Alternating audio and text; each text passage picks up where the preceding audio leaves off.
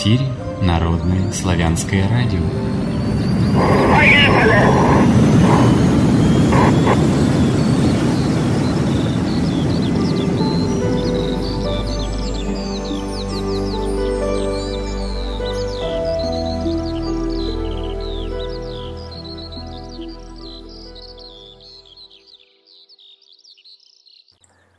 Всем здравия! С вами Народное славянское радио. Сегодня у нас по одному из современных календарей 14 июля 2016 года четверг, по одному из старинных 13 день месяца получения даров природы 7524 лета шестица.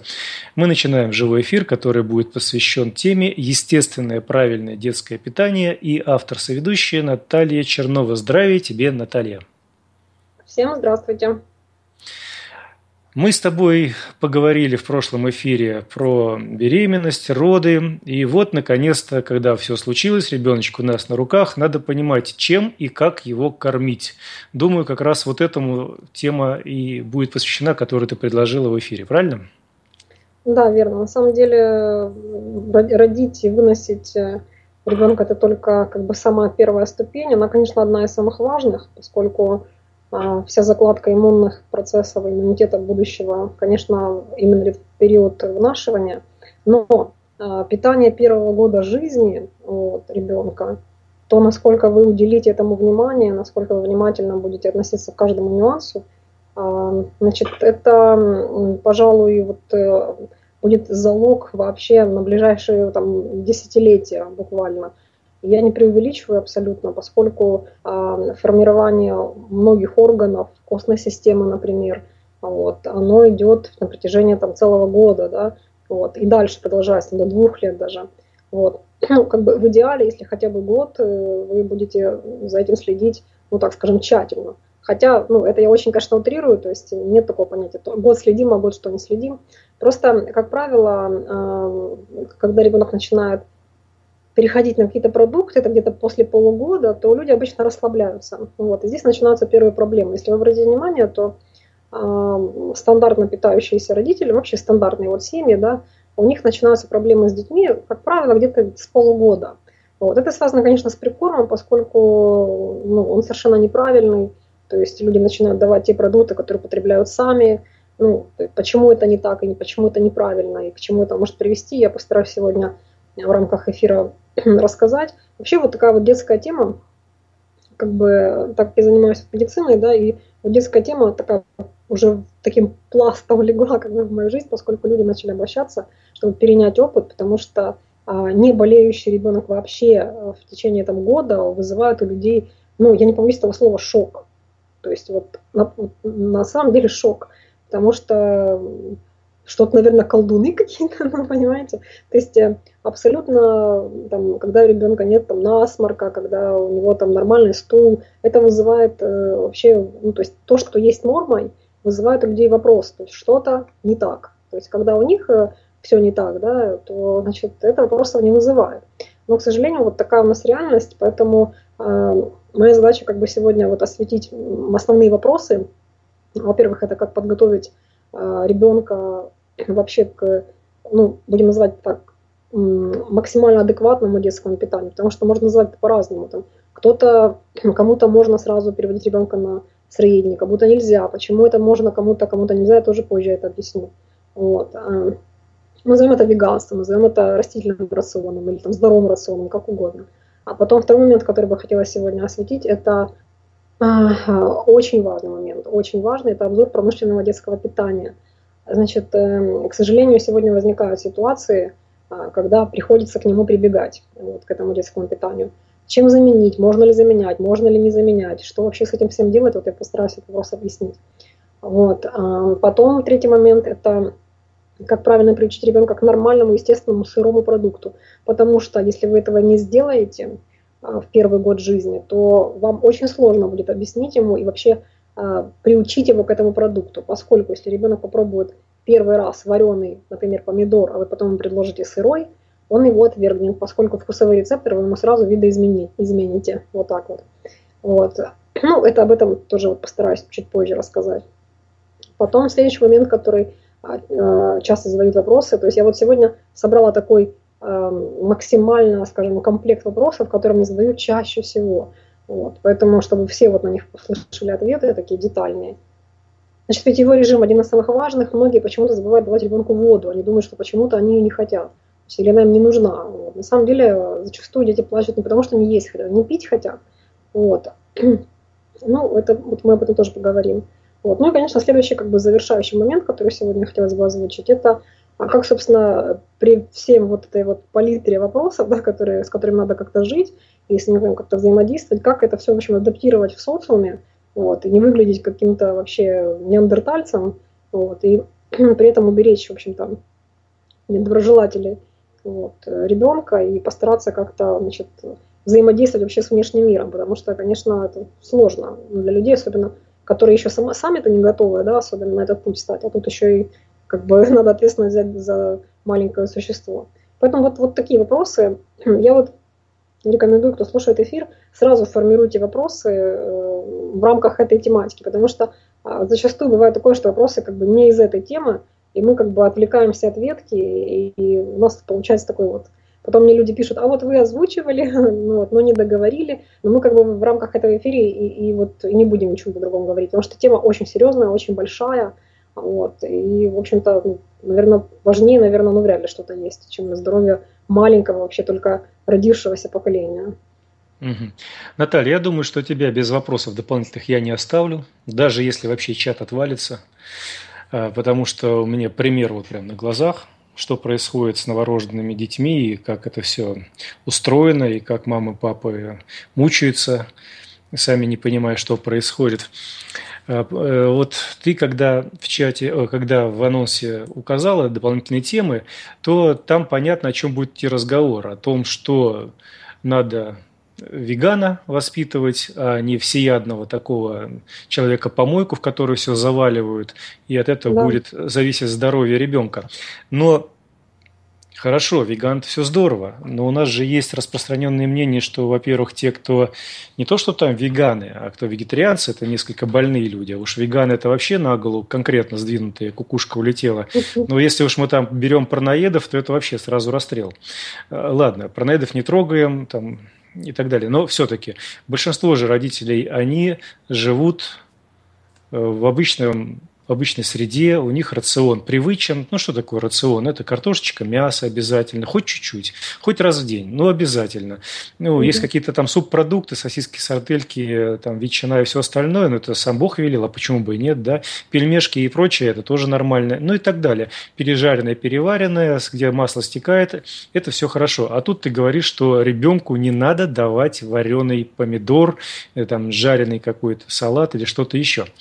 Так что здесь надо понять сразу, э, разъяснить плюсы и минусы того, что вот ожидает родителей, если сейчас они начнут приучать к тому, что в кавычках называется нормой. И это первое. Сразу вот объяснить, угу. в чем плюсы. И второе.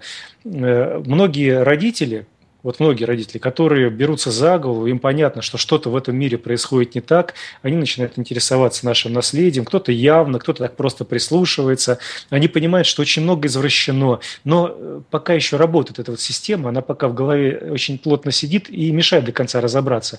И когда, например, вот мама, у которой месячный или двухмесячный ребенок, который от газиков там мучается, кричит именно от того, что распирает у него пупочек, да, там угу. э, животик во все стороны лезет, и там там он каждые 15 минут э, пукает и какает э, такой детской неожиданностью, вместо того, чтобы как положено ходить просто полноценно несколько раз в день, э, но он постоянно, вот пукнул, постоянно там меняет пеленки или там памперсы или там что-то еще. Пукнул, опять бегут менять.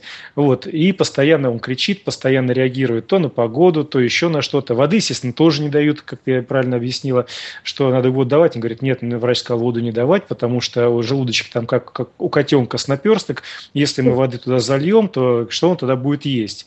И все доводы о том, что вода очень быстро впитывается, э, и она нужна ребенку, это как бы не воспринимается. Ну, ладно, бог бы с ним. Вот э, давай, наверное, объясним, почему все-таки ты настаиваешь, что здоровье ребенка – это не вареная, не жареная, а в первую очередь сырая пища с малолетства, почему это нужно делать. И второе, объясним, что если мама сама питается неправильно, а ребенок еще не находится на диете привычной ей, то есть вареная, жареная картошка с мясом, то в этом случае его будут постоянно мучить какие-то проблемы с животом и вообще со здоровьем. Вот давай это разъясним сразу, прежде чем нам разбирать все, все, все, все вот эти пункты, которые здесь обозначены. Да, я согласна. Важный, важный момент, э, поправка. Значит, э, ну, первое расскажу, объясню как бы преимущество. Наверное, для того, чтобы понять преимущество, значит, э, я расскажу недостатки стандартное питание. Значит, ну вот ты правильно сказал по поводу газика. Значит, э, э, начну вот с чего. Значит, самые стандартные вопросы, которые, вернее, проблемы, которые сопровождают э, детей первого года жизни, это, конечно, значит, газики, отрыжка, постоянное срыгивание какое-то, какой-то нездоровый сон бесконечный, просыпание, какие-то кормления каждые два часа ночью. Этого быть, конечно, не должно в норме. Вот, значит, я когда вот это все слышу, то есть э, до, до родителей почему-то не, не доходит, что это не есть норма. А не доходит почему? Потому что, ну, так ведется стандартная педиатрия. Вот откуда как бы ноги растут. То есть, ну, вот так, вот так бывает. Вот это как бы, то есть у нас, понимаете, вот я вам могу точно сказать, что с министерства всем медикам приходят почти ежегодно, а то, может быть, ну, даже бывает чаще, а, значит, нормы, например, там норма там крови анализа или там нормы мочи, да, они постоянно снижаются, понимаете, то есть уровень больных людей он постоянно повышается. То есть то, что было там 10 лет вообще патологии страшнейшие, которые там надо уже там, бубен бить вообще, и какие-то меры предпринимать, то сегодня уже норма. Вот. Поэтому это же то же самое коснулось и детей, понимаете? То есть тут та же самая точная история. Поэтому, значит, э, вот эти стандартные проблемы, значит, отсутствие нормального пищеварения, то есть какая-то непереносимость даже маминого молока, если нет переносимость маминого молока, это вообще вот торба, вот буквально, то есть это маме просто плохо, все, маме надо обязательно чиститься, а, вот, э, максимально быстро, потому что, потому что если она этого не сделает, то она мало того, что вырастет аллергика в будущем, то есть ребенок не будет воспринимать нормальные продукты вообще. Вот. Ну, об этом дальше. Значит, э, поэтому вот, э, вот эти все проблемы, которые я озвучиваю, газы, аллергии будущие в том числе, потом а, а, значит, отрыжки, э, какие-то вот бессонные ночи и прочее, прочее, прочее. Значит, все это дело, потом насморк, да, бесконечные, вот эти какие-то, не помню научное слово, научное название этого, этого объекта, но в народе называется, э, в общем, препарат, который мы сопли вот вытягивают из детского носика. Это вообще, это, ну, это ненормальная ситуация. Понимаете, сопли это продукт эм, насморк вообще, все, что связано с соплями, это продукт, в общем-то, гниения. То есть это гной. Это абсолютно ну, доказанный факт. Это вообще все это знают. Но почему-то ни у кого не вызывает э, вообще ужаса, что у ребенка там, в носовых пазухах при рождении, там, через месяц, через два, возникают какие-то гнойные выделения из носа. То есть понимаете, что происходит? Ребенок высасывает этот гной из груди матери через молоко. Вот. И потом его выделительная система, поскольку она очень мощная, поскольку все очистительные системы организма человека при рождении, они очень мощно работают. То есть чуть не то съели, чуть не то дали. То есть, ну, это как заправить машину не тем бензином, да. То есть, ну, чуть что-то не то, и при, при том, что организм достаточно чистый, он вот это все чуж, чуждое сразу выталкивает, он сразу показывает, что что-то не так, что-то не то, да, то есть обратите на это внимание. Поэтому если вы питаетесь вот стандартным образом, там, как вам советуют все стандартные педиатрия, там мясо, молоко, я про маму говорю сейчас, которая кормит грудью, значит, мясо, молоко, там, яйца, какие-то слизиобразующие крупы. Ну, про сосиски и колбасы мы даже не говорим, это, это вообще не обсуждается. То есть, ну, как правило, стандартная педиатрия советует придерживаться рациона э, мясо, молоко, там, яйца, картошка, ну, там, чуть реже, да, потому как газы может вызывать, крахмалы же бродят, да, вот, поэтому, значит, а, а молоко не может якобы, хотя это тоже лактоза, ну, то есть, это, конечно, отдельный разговор. Вот, значит, поэтому, питаясь вот таким образом, вы обеспечите стопроцентно, а, значит, э, все вот эти вот патологии, все вот эти заболевания, которые а, присутствуют на первом году жизни, они будут обязательно, если вы это ели во время беременности и тем более во время кормления. Но есть один важный нюанс, о котором э, я не могу не сказать, что если вы абсолютно стандартно ед, да, были на протяжении э, до зачатия и во время беременности, то есть во время беременности кушали там колбаски, картошку, не знаю, там шашлыки и прочее, там, и запивали это все пивом, как часто часто бывает, и беременные в том числе, и не только пивом, да, вот. А потом резко осознали после рождения, что о, ужас, надо что-то делать, и решили э, кормить, значит, прикормом в виде там сырых огурцов, помидоров, то этого делать нельзя. Значит, почему? Потому что во время внутриутробного образования, во время внутриутробного э, нахождения ребенка вы сформировали вот таким питанием через вашу пуповину, вы сформировали ему определенную микрофлору его кишечника. То есть на базе этой микрофлоры поселилась ну, как бы соответствующая тоже флора, да, которая при э, получении вот таких продуктов сразу сырых, значит, э, либо там э, каких-то, да, вот, ну, скажем, непривычных данному, то есть они могут вызвать брожение. То есть эти, эти газы. Давай, да, давай поясним, давай поясним, что да. ребеночек, когда формируется внутри, хотим мы этого или не хотим, он усваивает информацию, из, полученную из крови мамы. Если мама употребляла какие-то продукты и организм выделял какие-то вещества для расщепления этих продуктов, то ребеночку передается тоже информация, хотя через пуповину там не вся она передается, но какая-то информация передается о том, что тебя в жизни ждут эти продукты. И тебе необходимо формировать флору, фауну, выработку железами определенных веществ для того, чтобы эти продукты усваивались переваривались. Вот, наверное, так будет правильно. Да, и когда да. ребенок появляется, у него уже генетически, ну не генетически, я наверное, сильно сказал, но на уровне... Биохимически. Биохимически, да. да, уже настройка на эти продукты идет. А тут он получает молоко. И многие мамы, они все-таки стараются теперь уже, когда кормящие, им, их же сразу начинают руга, э, пугать, это не ешь, это не ешь, это да. нельзя, это пучить, это, это нельзя. Это, да, красное нельзя, белое не одевать, там, да, как это, вот, угу. и так далее. То есть вот этот ведь комплекс, они приходят приходит, тут они ели-ели, чуть не жрали, да, слово, там, что хотели и жрали, там им говорили, ешь больше, ешь больше, а тут приходит, им вообще ничего нельзя. И говорят, вот макароны, э, там мясо, и в лучшем случае картошка, все, там угу. ограничивают там вот полностью. А ребенок-то уже, извините, выжил во время беременности. Почти, -то, сколько там и началось формироваться, там, ну, не 9, конечно, месяцев, но поменьше, но все равно столько-то месяцев формировалась вот эта его структура усвоения пищи, и он уже настроен на эту пищу, ему хоть прям шашлык в рот засовывает, он будет его переваривать, ну, в кавычках, конечно. Ну, да, и получается, что вы тут теперь удивляетесь, как же так? Я тут этого не кушаю, а его пучит, а он кричит, а он не спит и так далее. Так э, вы в него заложили, и теперь у него происходит перестройка. Вот теперь вот надо понять, что перестройка будет какое-то время происходить, но как сделать так, чтобы дальше его не гробить? Да, но здесь это само собой, но здесь я еще другое хотела донести, что если вы резко осознали, что вы делали все неправильно и всю беременность питались неправильно, и тут после рождения э, или там во время прикорма там через 5 месяцев, 6 решили, о, ну я там, ладно, питалась неправильно всю беременность, да, и тут начну-ка я его хотя бы правильно питать, будем так говорить, да, ну, то есть начали там ему сырые яблоки, а у него-то флора сформированная, понимаете, какая, то есть она уже там бродильная, уже бродильная, он еще только родился, но благодаря тому, что вы ели вот эти самые шашлычки, с молоком запивали сами там на себе, да, а, вот, э, то давай, когда вы ему дадите вот этот продукт, например, тот же сырой или тоже яблоко, то у ребенка может начаться аллергия.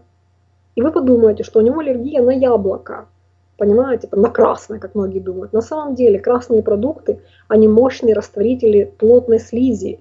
Поэтому, когда вы начинаете его употреблять, э, значит, э, они, эти продукты начинают эту слизь выводить.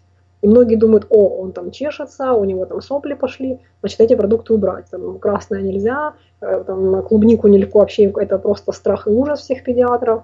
Значит, э, не дай бог никакие цитрусы, там яблоки только зеленые, потому что не дай бог. А на самом деле что происходит? Просто то, что вы наели, сейчас ваш ребенок за это отдувается тем, что он не может нормально съесть ни один продукт практически потому что у него от него либо пучит, потому что флора не, не та, которая может переварить это яблоко, вот, либо его сыпет, потому что у него лимфа уже сломана, то есть он только родился, у него лимфа уже грязная, грязная настолько, что его просто распирает от, от высыпания.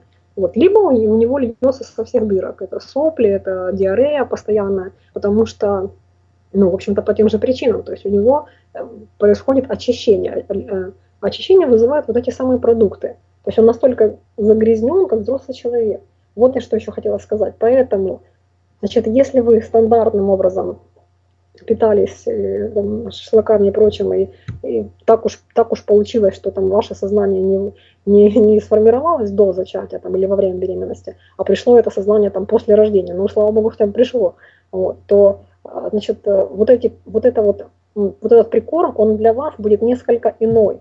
То есть, о чем я говорю, что сегодняшний эфир я постараюсь построить так, чтобы э, э, ответить, как бы, как правильно сделать это людям, тем, которые уже были веганами или вегетарианцами хотя бы во время беременности, или которые были стандартно э, питающимися людьми, но уже ребенка хотят сделать, э, ну скажем, здоровее и как бы включили мозги уже после рождения ребенка.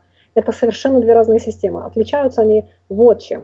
Отличаются они тем, что э, значит, стандартно питающимся родителям нельзя сразу вводить вот эти продукты, поскольку они усилят выход этот всего, поскольку вы добавите этих проблем. То есть Таким детям можно давать какие-то там супчики, но паровые, да, вот, но это я дальше об этом скажу и так далее. Просто я к чему это веду, что вот э, в разговоре, э, возвращаясь там к разговору о э, недостатках стандартного питания, да, вот, даже если к вам придет это осознание, то есть это сейчас обращение, обращение к тем, кто сейчас беременен, либо только планирует, когда к вам придет это осознание, что вы неправильно жили, то значит, вам будет очень сложно. И это длительный путь, это намного, намного сложнее, намного болезненнее для ребенка а, значит, эм, перейти на вот этот рацион так, чтобы не а, затронуть, ну, скажем, такие неприятные моменты, как э, какие-то, опять же, те же аллергические реакции на какие-то продукты, потому что вам придется через, через, через какие-то кризы очистительные этому ребенку придется пройти. То есть не каждый взрослый может перенести вот этот очистительный криз спокойно. Понимаете, когда там, у вас там печень очищается, когда у вас слизистые очищаются, а тут ребенок годовалый, это будет плач, это будет, э, ну и так далее, и так далее. То есть, э, хотя тут же еще какой момент, что ребенок месяцев до трех примерно, да, ну в первые месяца полтора точно, он, ну его норма плакать около 8 часов в сутки. То есть, почему так? Потому что э, ну, многие что, дают какие-то сейчас капли придумали, это вообще просто, просто какой-то ужас современности. Но сейчас, оказывается, есть какие-то психотропные, седативные капли, которые дают ребенку, и он просто тупо спит. Вот маленький, там месяц, ему два. Значит, э, плач ребенка около 8 часов в сутки в норме.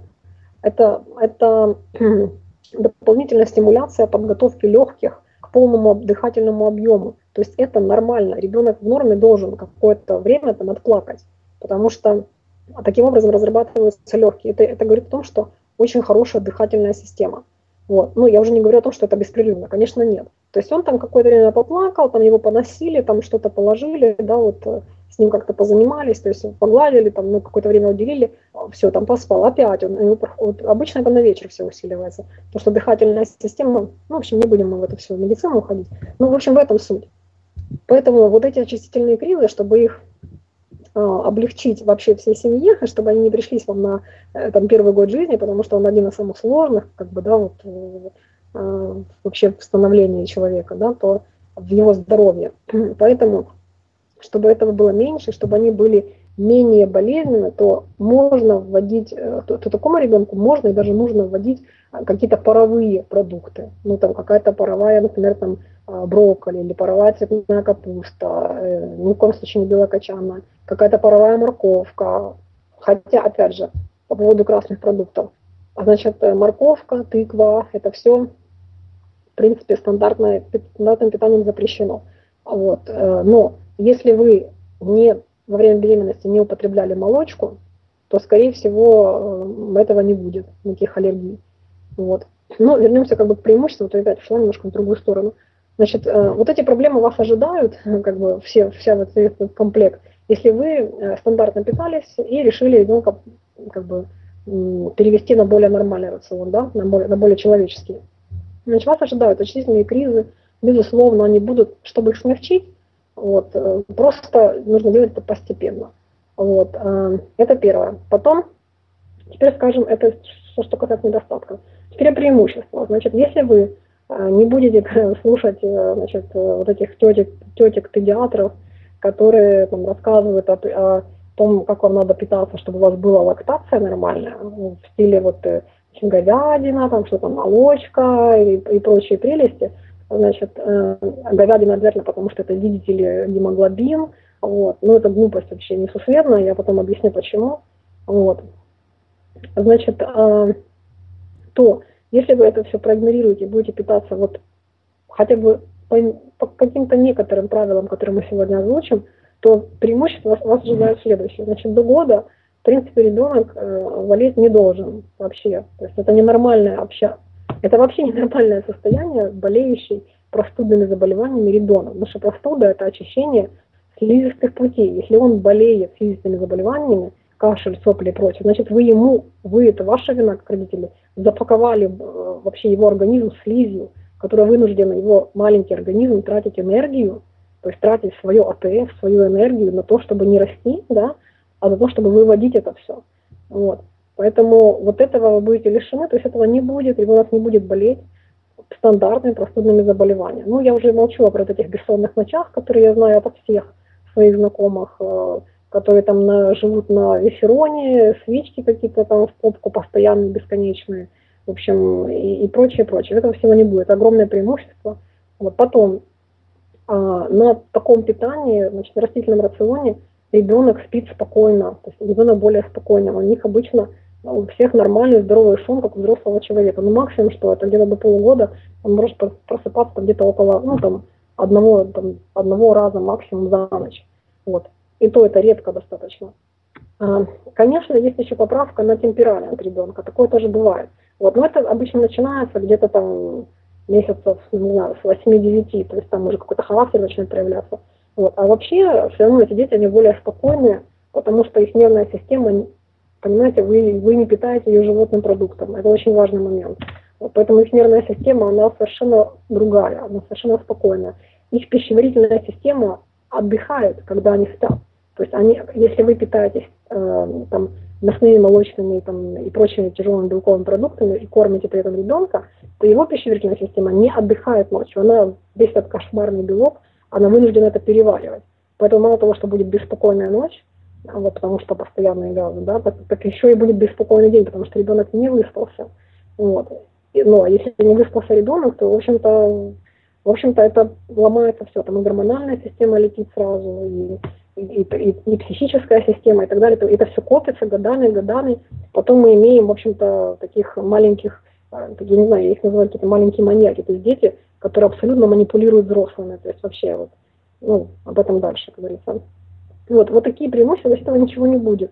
Вот, э, ребенок просто, причем э, еще какое преимущество очень, очень важно. Вы сможете давать ему любой красный продукт, абсолютно.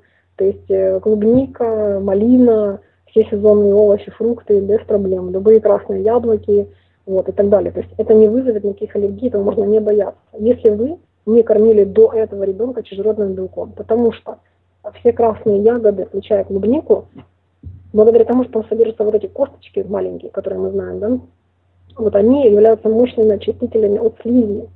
Вот, там много витамина С в них. Вот, они очень мощно растворяют слизь, поэтому очень у многих на них начинается дыхательная аллергия. Если на них дыхательная аллергия, то значит слизи настолько много, что ну, происходит схлопывание этих бронхов, да. Вот, поэтому эти продукты такой ребенок сможет есть спокойно. Представляете, насколько это легче. То есть вам не придется готовить никакие там э, изыски, то есть вы просто ставите там тарелку с ягодами, он с удовольствием ее ест. Вот, и наедается очень серьезно. Вот, поэтому, ну, в общем, вот такие вот преимущества. А потом ребенок может пить соки. Вот, тоже такое преимущество, потому что на стандартном питании он соки пить не сможет. Объясню почему. Он будет от них пучить. Если вы будете давать ему, а, если вы будете давать ему свое молоко, которое содержит слизь от той еды, которую едите вы, либо а, белки, продукты распада белков от мяса и молока, которые вы пьете, да, как мама, вот, то он никогда не сможет пить свежевыжатые соки. Пока, ну как никогда, там лет до, наверное, трех спокойно. Потому что его будет постоянно пучить. Вот, э, потому что это, ну, это два антагонистного продукта. Продукты распада белков, вот эти, да, и соки. Как бы сок пытается это все выдавить, поэтому будет постоянно распирать. Вот. Э, ну, то есть, это тоже очень серьезная проблема. Придется какие-то компоты придумывать. Вот. В то время, когда лето на дворе, вы просто взяли, выдавили яблоко и даете, и все. Это очень быстро, очень просто, очень облегчает жизнь.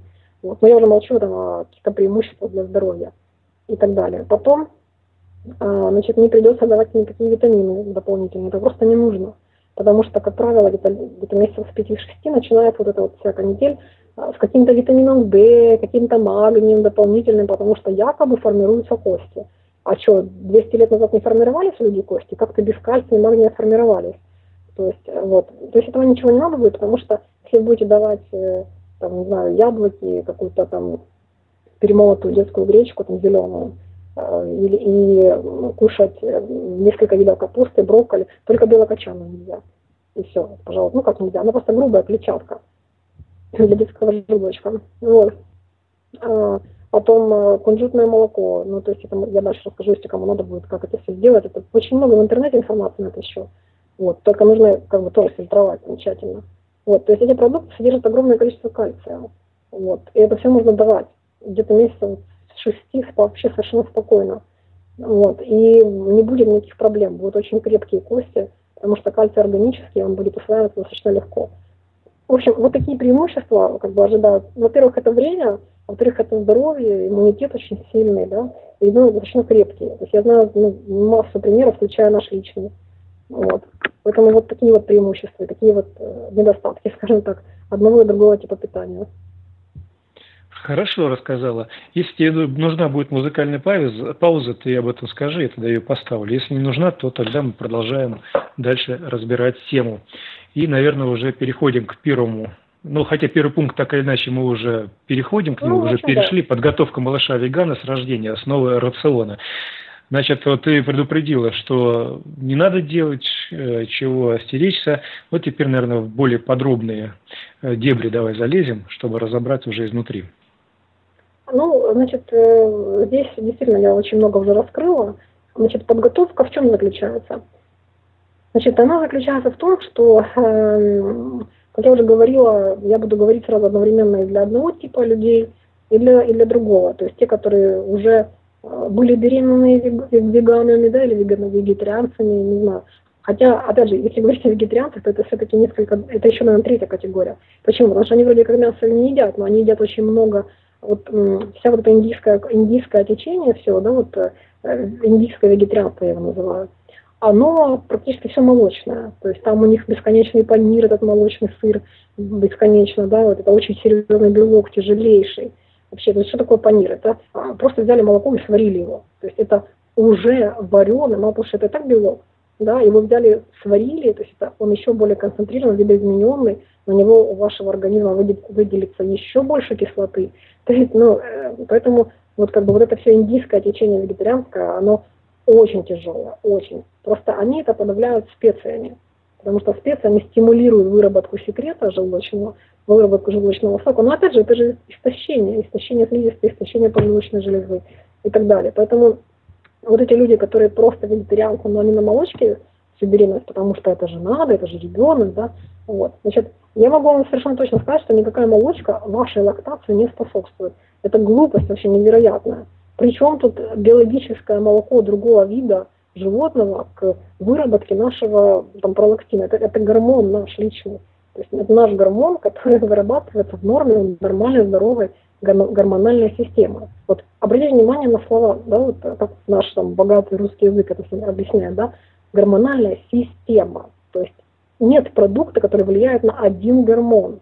То есть так как иммунная система, то есть это система органов, система мероприятий. То есть не, нельзя взять и подействовать на один гормон каким-то другим гормоном, который вы примете. Так не бывает. То есть если вы приняли один гормон, то все остальные будут, они разбалансированы будут. Если какого-то будет хотя бы на один процент больше, то все, то все остальные начнут прыгать. Вот, то есть и получится разбалансировка вообще всего организма.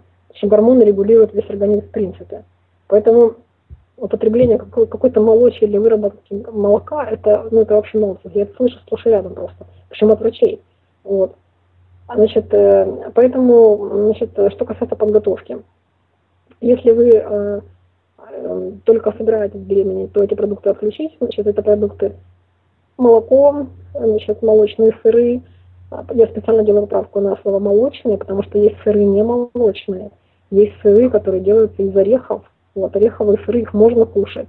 А вот это совершенно другой продукт. Значит, э, э, Потом, э, значит, что, ну, мясо я вообще тут не во внимание беру, то же самое с рыбой. Значит, нам тут рассказывают о том, что рыба нужна, потому что там, значит, омега-кислоты, там, жиры необходимые, рыбий жир и прочее. Значит, если вы будете употреблять льняное масло, то лен, там что там у нас еще мак, ну, в принципе, кто, кто любит, то можно авокадо, в нем тоже очень много омега-жиров. Вот, ну и так далее. Вот такого формата продукты. Орехи.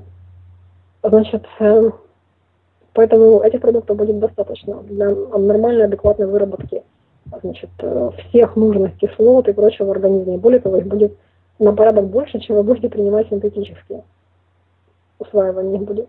Значит, э, то есть вот такие вот меры, это уже подготовка вашего малыша к будущему вегетарианскому, значит, вообще здоровому питанию. То есть чем более, здоров... Э, чем более правильнее вы питались, причем вы не только, я обращаюсь к женщинам, но к мужчинам тоже. Я об этом уже говорила на каком-то эфире, там года два назад или год назад, что питание важно не только женщинам, почему-то об этом забывается. Значит, э, об этом тоже, то есть, это, вот у меня тоже часто обращаются люди, что вот, вот значит, только женщина как-то собой занимается. Это неверно. Вот если речь идет о подготовке будущего здорового э, вегетарианца, значит, что я вкладываю в смысл здорового? Это значит, что когда вы будете давать естественные для человека продукты, на них у него не будет никакой реакции. Вот. То есть они будут абсолютно адекватно, нормально усваиваться. Не будет его там обсыпать, не знаю, рвать от него, раздувать и так далее. Вот. Значит, нормальный продукт – это тот продукт, который может дать плод после себя. То есть то, что может вырасти. Вот это нормальный продукт. То есть овощи, фрукты, орехи, что там у нас еще, какие-то крупы, то не все. Вот, ну и так далее. Значит, э, э, это первый момент. То есть это уже, вот этот момент, это уже есть подготовка э, практически ну, вегетарианцев. Да? Причем, что интересно, я знаю семьи и случаи, когда родители вегетарианцы, вот, а потом резко, значит, в кавычках поумнели под воздействием там, врачей, которых напугали, и все-таки решили давать ребенку молоко, потому что без него же кальция нет, ужас. Вот, а, значит, или там, или там мясо давать вареное, потому что надо же белки, вот, потому что ребенок якобы не вырастет.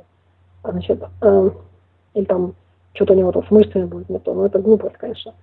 Значит, э, так вот, э, так вот у таких родителей проблемы были, в общем-то, не меньше потому что ребенка рвало от этих продуктов очень серьезно, у него не готово. Понимаете, это вот обратный эффект. То же самое, только наоборот. То есть это показывает то, насколько мы можем сами корректировать. То есть мы практически можем выбирать, либо мы животное, либо мы как бы все-таки человек. То есть, ну, только если вы выбрали путь животного, вы как бы изогнетесь как животное, там, болеющие, вечно там в соплях, с запакованной слизью и так далее. То есть, ну, вот примерно так. Хотя Конечно, животные не болеют так, как мы, но я имею в виду, что животный уровень в плане инстинктивное питание. То есть вот, что вижу, то и ем. Вот, в таком формате. Вот. А, значит, это уже тоже подготовка. Потом, а, что касается, когда уже родился ребенок, да, значит, что может войти в подготовку? Значит, первое, с чего нужно начать, это а, ваше питание, если вы кормите грудью. Значит, если по каким-то причинам а, вы не можете кормить грудью. Причин может быть масса. Например, какое-то, не знаю, острое воспаление, вам нужно принимать какое-то лекарство. Либо там, ну не знаю, какой-то перелом, то есть сломал руку, ногу, ну то есть все в жизни бывает, да, и вам нужно вколоть какое-то обезболивающее. Либо там принимать какие-то травы, по, э, которые несовместимы с лактацией, то есть нельзя кормить малыша, потому что вы там вынуждены пропить какой-то курс трав, даже трав, да, но тем не менее ребенку их нельзя по какой-то причине например, там очищающих, резко надо экстренно принять, то э, значит, э, э, иногда приходится значит, прекратить на какое-то время кормление, потому что вот просто нельзя. И что делать, многие задаются вопросом. Ну, во-первых, значит, есть два пути. Первый – это выбрать максимально адекватную смесь. Сейчас, конечно, многие удивятся. Значит, для чего это? Это второй пункт нашего Второе – это значит, кормить продуктами э, так называемое ореховое молоко, либо э, кокосовое молоко. Это все нужно делать. Значит, ну, самое подходящее молоко, самый подходящий продукт – это кедр. Кедровое молоко является по составу очень близким к, как вообще его питательная ценность, его энергетическая питательная ценность, она очень близка по сравнению, по отношению к э, материнскому молоку. А в сравнении с тем, что сегодня находится в грудном материнском молоке, у каждой второй, если, если не у каждой женщины, которая кормит своего ребенка, то это на порядок, это вообще невероятно лучше. Вот. То же самое касается некоторых органических, так называемых, питаний, вот, э, смеси вот этих, значит, это тоже на порядок лучше, если вы пришли к осознанию, что вы ужасно питались всю беременность, что ваше молоко, значит, которое формировалось благодаря вот этому гормону, да, что ваше молоко непригодно для детского питания. Значит, вы должны давать ему либо вот это кедровое молоко, значит, его, его можно делать из кедровых орехов. Если кому нужно будет, я расскажу как, но в принципе в интернете эта информация есть. Значит, только сырых обязательно, сырых кедровых орехов. Вот. Нормы те же самые, то есть, э, ну, имеется в виду нормы там, 30, 30 грамм первый день жизни, потом там, э, сколько там, на, 10, на каждые 10 грамм повышается, там, до месяца, я забыла даже, если точно нормы. Вот. Ну, короче, эта вся информация есть, кому надо будет, я расскажу. Вот. А, значит, либо найти какую-то, если нет возможности там кедрового ореха, если на самом деле не так много надо, вот, то искать какую-то вот, значит, и органическую смесь. Если ваше молоко, если вы пришли к пониманию тому, что ваше молоко гораздо больше вреда принесет. Например, оно может принести ему, э, то есть ребенок может высосать э, через, через молоко матери гной, ее. То есть, если она знает, что она питалась неверно, или там курила, не знаю, что угодно могло быть в ее жизни, вот, то лучше принять такое решение. Это на самом деле лучше, а, и такие дети намного более здоровее будут, к сожалению. К сожалению, а, это приходится признать, потому что я вижу случаи просто на глазах, которые происходят, что молоко матерей, которые питались совершенно беспардонно время беременности, дети эти очень вялые, они, они, там нет никаких витамин практически, то есть они очень серые, э, ну, в общем, и так далее, и так далее. То есть я ни в коем случае не защищаю никаких смесь, я против них. Вот, и максимально быстро надо от них уводить. То есть максимально. Если, если передвигать не только временно, временно как временная мера какая-то, да, вот. А если есть возможность, лучше этого не делать и быть на ореховом молоке, либо на кокосовом, либо на кедровом молоке. Но лучше кедровое, оно как-то более питательное. Вот. Только, ну, конечно, позаботьтесь, чтобы орех был все-таки нормального качества. Вот. А, значит, э, вот такая вот такой вот момент касательно подготовки. По поводу основы рациона, ну, рацион имеется в виду детский. Значит, э, как правило, прикормы начинаются где-то с ну, пяти с половиной, некоторые раньше начинают месяцев. Ну, те, кто, те, кто на искусственном питании, те раньше начинают. Те, те, кто на стандартном рационе, они, правило, позже. Ну, в принципе, где-то около шести месяцев уже начинают прикармливать. Значит, с чего начинается прикорм? по стандартному, стандартным, по стандартным правилам. Значит, первое, это, как правило, какая-нибудь картошка. Вот. И потом начинается, значит, слизь, а в слизи выводятся бактерии, это бесконечный насморк, а если насморк, значит и кашель, потому что все это опускается, а ребенок откашляться не может. В общем, это просто ужас, а если откашляться не может, а как вы, как вы ему прикажете откашляться? Там, в полгода, да? То есть он не может, значит, если там есть кашель, значит, это будет бронхит. И вот это вся цепная. А если есть бронхит, то это обязательно пораженные почки. В общем, и это, вот эта вся цепочка событий, она вот развивается как снежный ком. Поэтому, э, значит, э, что могу сказать? Значит, никаких картошек, конечно, вообще до года вообще нельзя, просто нельзя. Ну, да не хоть до года, вообще нельзя, будем так говорить. Но если, вы, если вы не можете там сопротивляться, не знаю, бабушкам, дедушкам, но до года надо воевать жестко за это, потому что вы не сможете объяснить ребенку даже до двух, там, до трех даже, вот, что нужно кашлять, нужно это все слизь убирать, что нужно, ну и так далее. Значит, потом мы стандартные прикормы, отдельно хочу отметить вот эти баночки все. Эти готовые, это просто надо выкинуть, вообще никогда не покупать. Эти готовые, ну, какие-то супы консервированные, какая-то там капуста, какой-то кабачок. Мне вот всегда уделял вопрос, вам что, так сложно, там, не знаю, даже если вы там готовите, вам что, сложно отрезать кусок кабачка и, и на пару там или там, если вы уже варите, ну ладно, бог с ним, уже варите. Это так сложно, занимает полминуты буквально, я не знаю, сколько там варится там кабачку. Вот. Нет, люди идут за этими пюрешками какими-то из кабачка, тратят на это бешеные деньги, пакуют этим детей, значит. Понимаете, во-первых, это, там есть обязательно консервант. Вот можете не поверить, что есть такая наука микробиология, да, то есть она объясняет, что не законсервированный продукт храниться не будет. Там бактерии, там вода, это продукт вареный, то есть, значит, там есть жидкость, все, точка. И даже и сыром тоже там есть жидкость, тем более кабачок. Значит, там, где есть вода, там будет микроб. Значит, если есть э, жидкость, там, там будет консервант. Вот, это первое. Потом, вот эти, вот эти все баночки красивые, это все как, ну, вот у хороших родителей такого быть не должно, ни в коем случае. Значит, никаких э, готовых баночек. Вот, э, значит, это первый момент, это все убрать. А потом, значит, основа рациона в полгода должна составлять так. Значит, э, если вы, ну, все-таки нужно делать упор на овощи. То есть, если вы э, уверены, что там вы не, не кушали каких-то белков, чужеродных молоко, мясо, то можете начинать тыква, вот эти вещи. Вот, у нас, например, ребенок очень любил тыкву с первых дней, вот, но она достаточно специфическая на вкус с первых дней, поэтому ее можно смешивать с какой-то кашкой. Там, например, это, либо это гречка зеленая, перемолотая, вот. вот такие вот продукты. Вот. Либо, если это овощ, то тогда ну, очень подходит брокколи. Все зеленого цвета, все очень подходит. Вот. Э, такие продукты. Вот. Первый раз лучше отдавать пару, что желудок не защищенный, вы не можете гарантировать, что там идеально чистая э, значит, э, продукт, все должно быть стерильно, поэтому лучше отдавать паром. Это ну, вот такая рекомендация. Значит, э, лучше паровая обработка, минимальная, буквально там на протяжении минуты. Вот. И все это, конечно, перемалывается, либо растирается. Например, я не сторонник того, чтобы перемалывать все до состояния прям вот воды, такого пюре. Почему? Потому что ребенок, ну, может быть, может быть месяцев до семи, а потом не надо, потому что ребенок начинает дёственно учиться жевать пищу. Чем, э, э, ну, такими, пусть она будет малень, небольшими кусочками, маленькими. Потому что если вы это делаете, тогда у него еще более мощно работает перистальтика, у него еще лучше э, работает кишечник, потому что он получает микро-микроклетчатку. Вот. И тогда проблемы газа не будет вообще. Вот.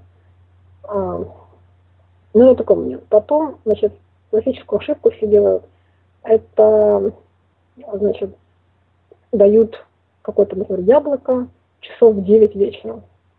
Там, натерли ему это яблоко и дали полгода в 9 вечера.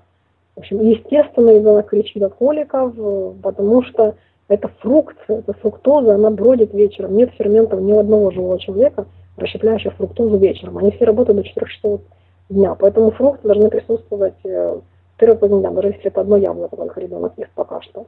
Вот. По поводу печеных яблок.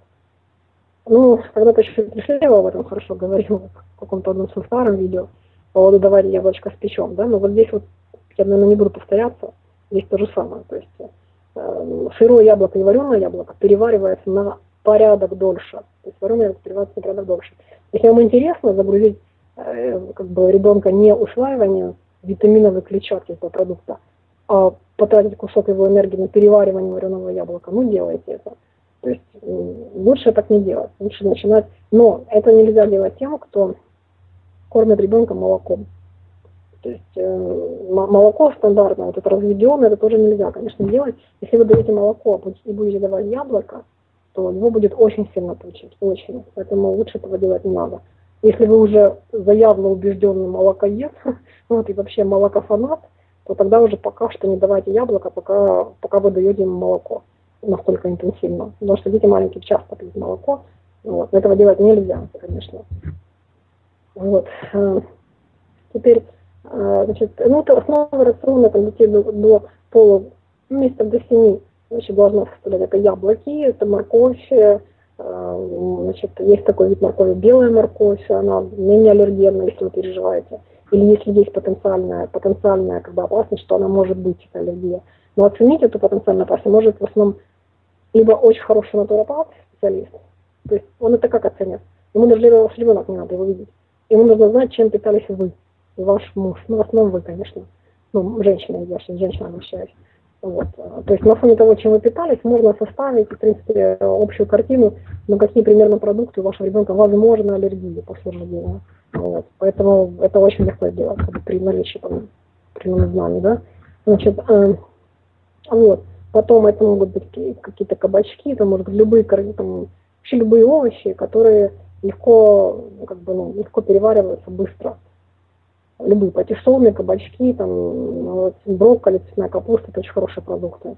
Там морковь, э, мне желательно употреблять никаких, никакой соли, никакой, значит, если вы дадите, будете присаливать э, любые продукты, которые вы даете ребенку, вы потом никогда не заставите его съесть просто так. То есть э, у них очень, у них очень чувствительные рецепторы, вот, и э, если вы хотите, чтобы ваш ребенок заведомо как бы подготовить его к восприятию э, правильного вкуса продуктов, не давайте ему соль, особенно в первый год жизни, никогда, не тем более сахар. Это тем более вообще нет никаких, потому что вы никогда потом не заставите его съесть даже куска яблока без сахара, там, либо Поэтому эти дети, они вообще, вот я наблюдаю этих деток, что они не могут, э, не понимают вкуса ни малины, ни клубники, она им никакая. Потому что они привыкли, то есть уже с детства им там подсаливают супчики, подслащивают компотики с сахарами, то есть этого делать нельзя, конечно. Не молчу о том, что это слизь. Вот. Очень часто, когда подслащивают и подсаливают э, значит, прикорм детский первый, то эти дети, они вот раздутые, вот, у них вода задерживается, они такие, знаете, очень раздутые, и думают, какие вот невероятные значит, э, дети там здоровые, здоровьем пышат, но, к сожалению, это не так. Вот. В общем, вот такой основа рациона, никаких, никаких стимуляторов вкуса, значит, потом обязательно включить в основу рациона, это обязательно с пяти с половиной месяца на травяные чаи, это обязательно. То есть даже если вы супер идеально питали всю беременность, в чем я сомневаюсь, в стандартном мире, как бы любой продукт, он все равно какой-то не такой немножко, да. Вот. И даже если вы идеально там кормите грудью кормили, и там продукты более-менее соблюдаете для прикорма, все равно нужно давать травы, травяные чаи ребенку, а, а, значит, минимальными дозами, сначала ну, 30 грамм, потом там 50, потом и так далее, повышать значит, в сутки, в сутки. Желательно вечером, около там часов 8-9 из таких трав. Значит, это может быть липа, это может быть мелиса, это может быть смесь, мелиса, ромашка, липа, вот такое что-то. Вот. А, фенхель туда же. Значит, а, такой набор трав, он, во-первых, обеспечивает а, ну, ребенка очистительными мероприятиями, то есть вот эти травы, они хорошо чистят, то есть э, чтобы продукты не задерживались, это гарантированно ликвидирует лишние газы. Вот. Потом по поводу воды, вот мы говорили, что значит, воду многие не дают. Значит, давать надо хотя бы по чайной ложке в день, э, там, до полугода обязательно чистой воды, лучше талой, это будет еще лучше. Если вообще отказывается от воды, то лучше вот с травяными настоями вот такими. Она немножко вкусненькая, пахнет, там мелиса, это все, да. Вот. А, значит, э, почему? Потому что вода связывает пузырьки воздуха. Понимаете? То есть вода, если вы пьете, даете ребенку воду, то вот эта вода, она связывает эти пузырьки воздуха, гуляющие по кишечнику, и не будет газов. Если они будут, то они будут минимальны вообще, абсолютно минимальны. То есть они не будут доставлять такого дискомфорта ни ребенку, ни вам. Вот. вот это вот основа рациона где-то до полугода. Потом, конечно, там месяцев 7-8 а, могут появляться, а, как-то знакомить ребенка, там, начинает с буквально грамма, там, одна-две спичечные головки, вот такая примерно а, дозировка. Вот. Значит, это могут быть, добавиться а, другие сорта яблок. Например, у нас вот, э, у нас вот ребенок очень любит груши. Вот. Мы начинали, вот первый наш прикорм был по яблоко и груша.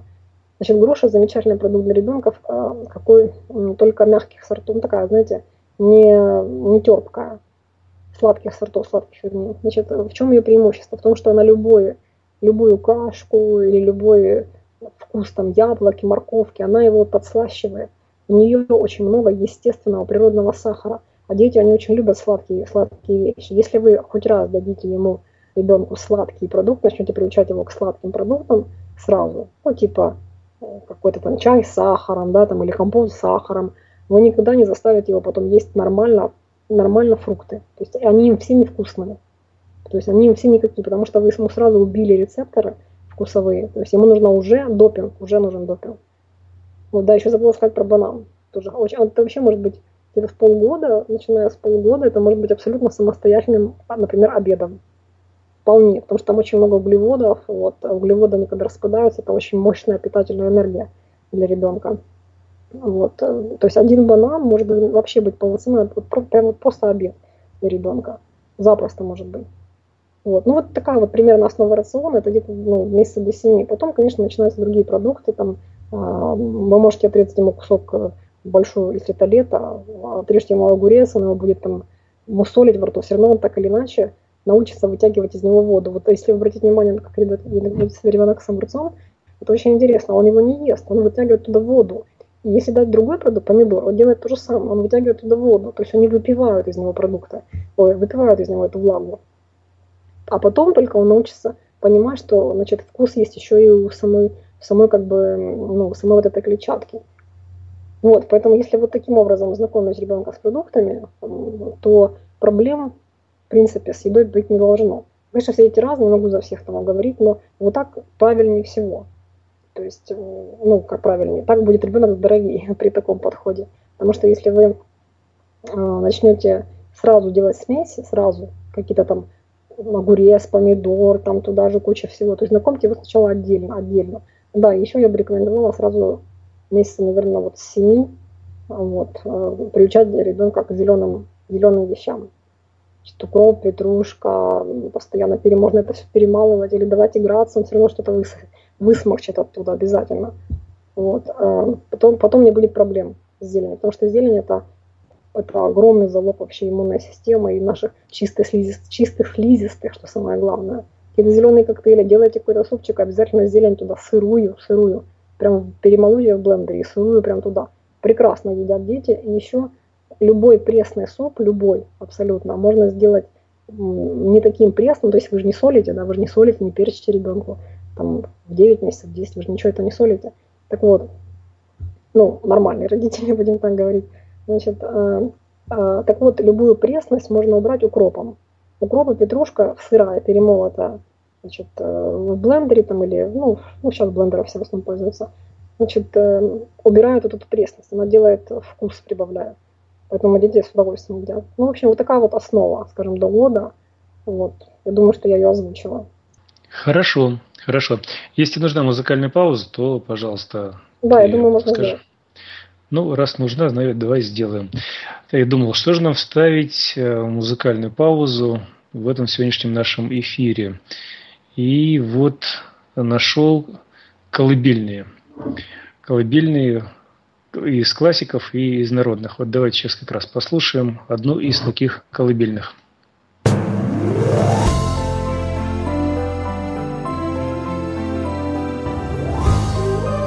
Вы слушаете Народное Славянское радио.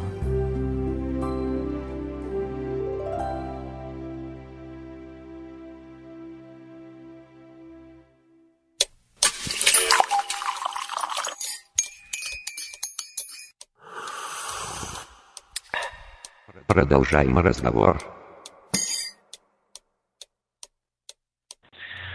Продолжаем разговор на Народном славянском радио. Сегодня у нас по одному из современных календарей 14 июля 2016 года четверг, по одному из старинных 13 день месяца получения даров природы 7524 лета шестица. Мы говорим про естественное, правильное детское питание и, главное, сведущая, автор, сведущая Наталья Чернова. Немножко отдохнули мы, послушав такое интересное исполнение колыбельной, и теперь приступаем дальше к разбору заявленной темы. Пожалуйста, Наталья. Да, продолжаем рассматривать э, нашу сегодняшнюю тему. Значит, ну, в принципе, я думаю, что мы можем уже перейти к второму вопросу. А, я, пожалуй, основные продукты озвучила. Вот. Э, ну, может быть, не все, конечно, более, более широко я скажу вот в третьем, пожалуй, правильно, вот, в третьем вопросе о тех продуктах, которые желательно включить в рацион ребенка, ну, скажем, до года. Вот первая тема, первая пункт нашей темы сегодня у нас, ну, как бы э, получился э, как рацион для детей э, там, до полугода, примерно так, да, там, ну, месяца до семи. Потом, конечно, список продуктов расширяется. Вообще, в принципе, чтобы там долго не говорить, вот, можно запомнить одно, значит, практически любые фрукты, ягоды, ну, там, за исключением какой-то экзотики, там, жуткой, да, вообще, там, океанической. Почему так? Потому что э, вот эта экзотика, то есть, если вы а, не знакомили ребенка до этого, то есть вы этого не употребляли вообще никогда, то неизвестно, как на это среагирует его организм маленький.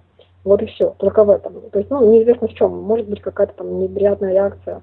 Ну, там, самое минимальное это какой-то там, какая-то диарейка поскочит, да, самое максимальное это, конечно, аллергия. Вот. А, теперь, значит, а, поэтому запомнить, что следует. Значит, это овощи, фрукты, вот, а, потом это зелень обязательно, вот, ну, в зелени для ребенка, конечно, не входит никакая кинза, вы же понимаете, то есть максимально, ну, скажем так, максимально минимально ароматические растения, вот так будем говорить, потому что а, все, что очень сильно ароматическое, оно раздражает слизистую э, как бы систему. Поэтому, в общем-то, вот это основное правило. Потом, конечно, ясно дело, что орехи вы ему не дадите, но ореховое молоко, ну, я бы ограничилась э, там, до года, а то даже и полтора, это кедром. То есть этого достаточно будет. Это не орех, конечно, а молоко из него. Вот. Ну, то есть просто замоченные, перемолотые в блендере и, в общем-то, процеженные. Все, это все очень просто делать. Вот. Э, конечно, соки. То есть это я вот к тому, как, как бы к рациону возвращаюсь. А, теперь второй вопрос. Значит, ну и, конечно, чаи. Я уже это озвучила, травяные чаи. Вот. Единственное, что меняйте эти травы, то есть нельзя давать ромашку очень долгое время, даже если находит смесь, э, потому как э, Ромашка это тоже ядовитое растение, значит, она может употребляться там, ну, недели полторы-две, но до трех максимум взрослым ребенком там, недели полторы. Вот, потом делать перерыв. Ну, это в маленьких, конечно, концентрациях. Так, что касается промышленного детского питания, значит, ну, я немножко уже сказала про вот эти баночки супы, и что там еще у них, овощи какие-то там есть, фрукты. Вот меня умиляют вот эти все пюрешки, которые стоят на полках, просто ломятся. Полки от них э, вот эти там яблоко и морковь. Это невероятно, конечно, экзотический продукт в наших широтах, да, прям настолько, что надо его консервировать и продавать для детей. Ну просто в каждом доме найдется яблоко и морковка, которые можно вот просто вот помыл, натер и вот давай ребенку все. Вот. Ну или там, если вы хотите приготовить, уже там паром его обдали, или там, я не знаю, проварили, если вам уже так хочется, или если это требуется по каким-то причинам. Например, ну, как я уже говорила, по каким это может быть причинам. Если вы это ели всю беременность, то, конечно, сырой трансфер давать не надо. Вот. А, поэтому это, конечно, невероятная экзотика, потому что надо аж консервировать и продавать. Ну, вот. И поэтому, конечно, эти все вещи я даже обсуждать не буду, я это просто игнорирую.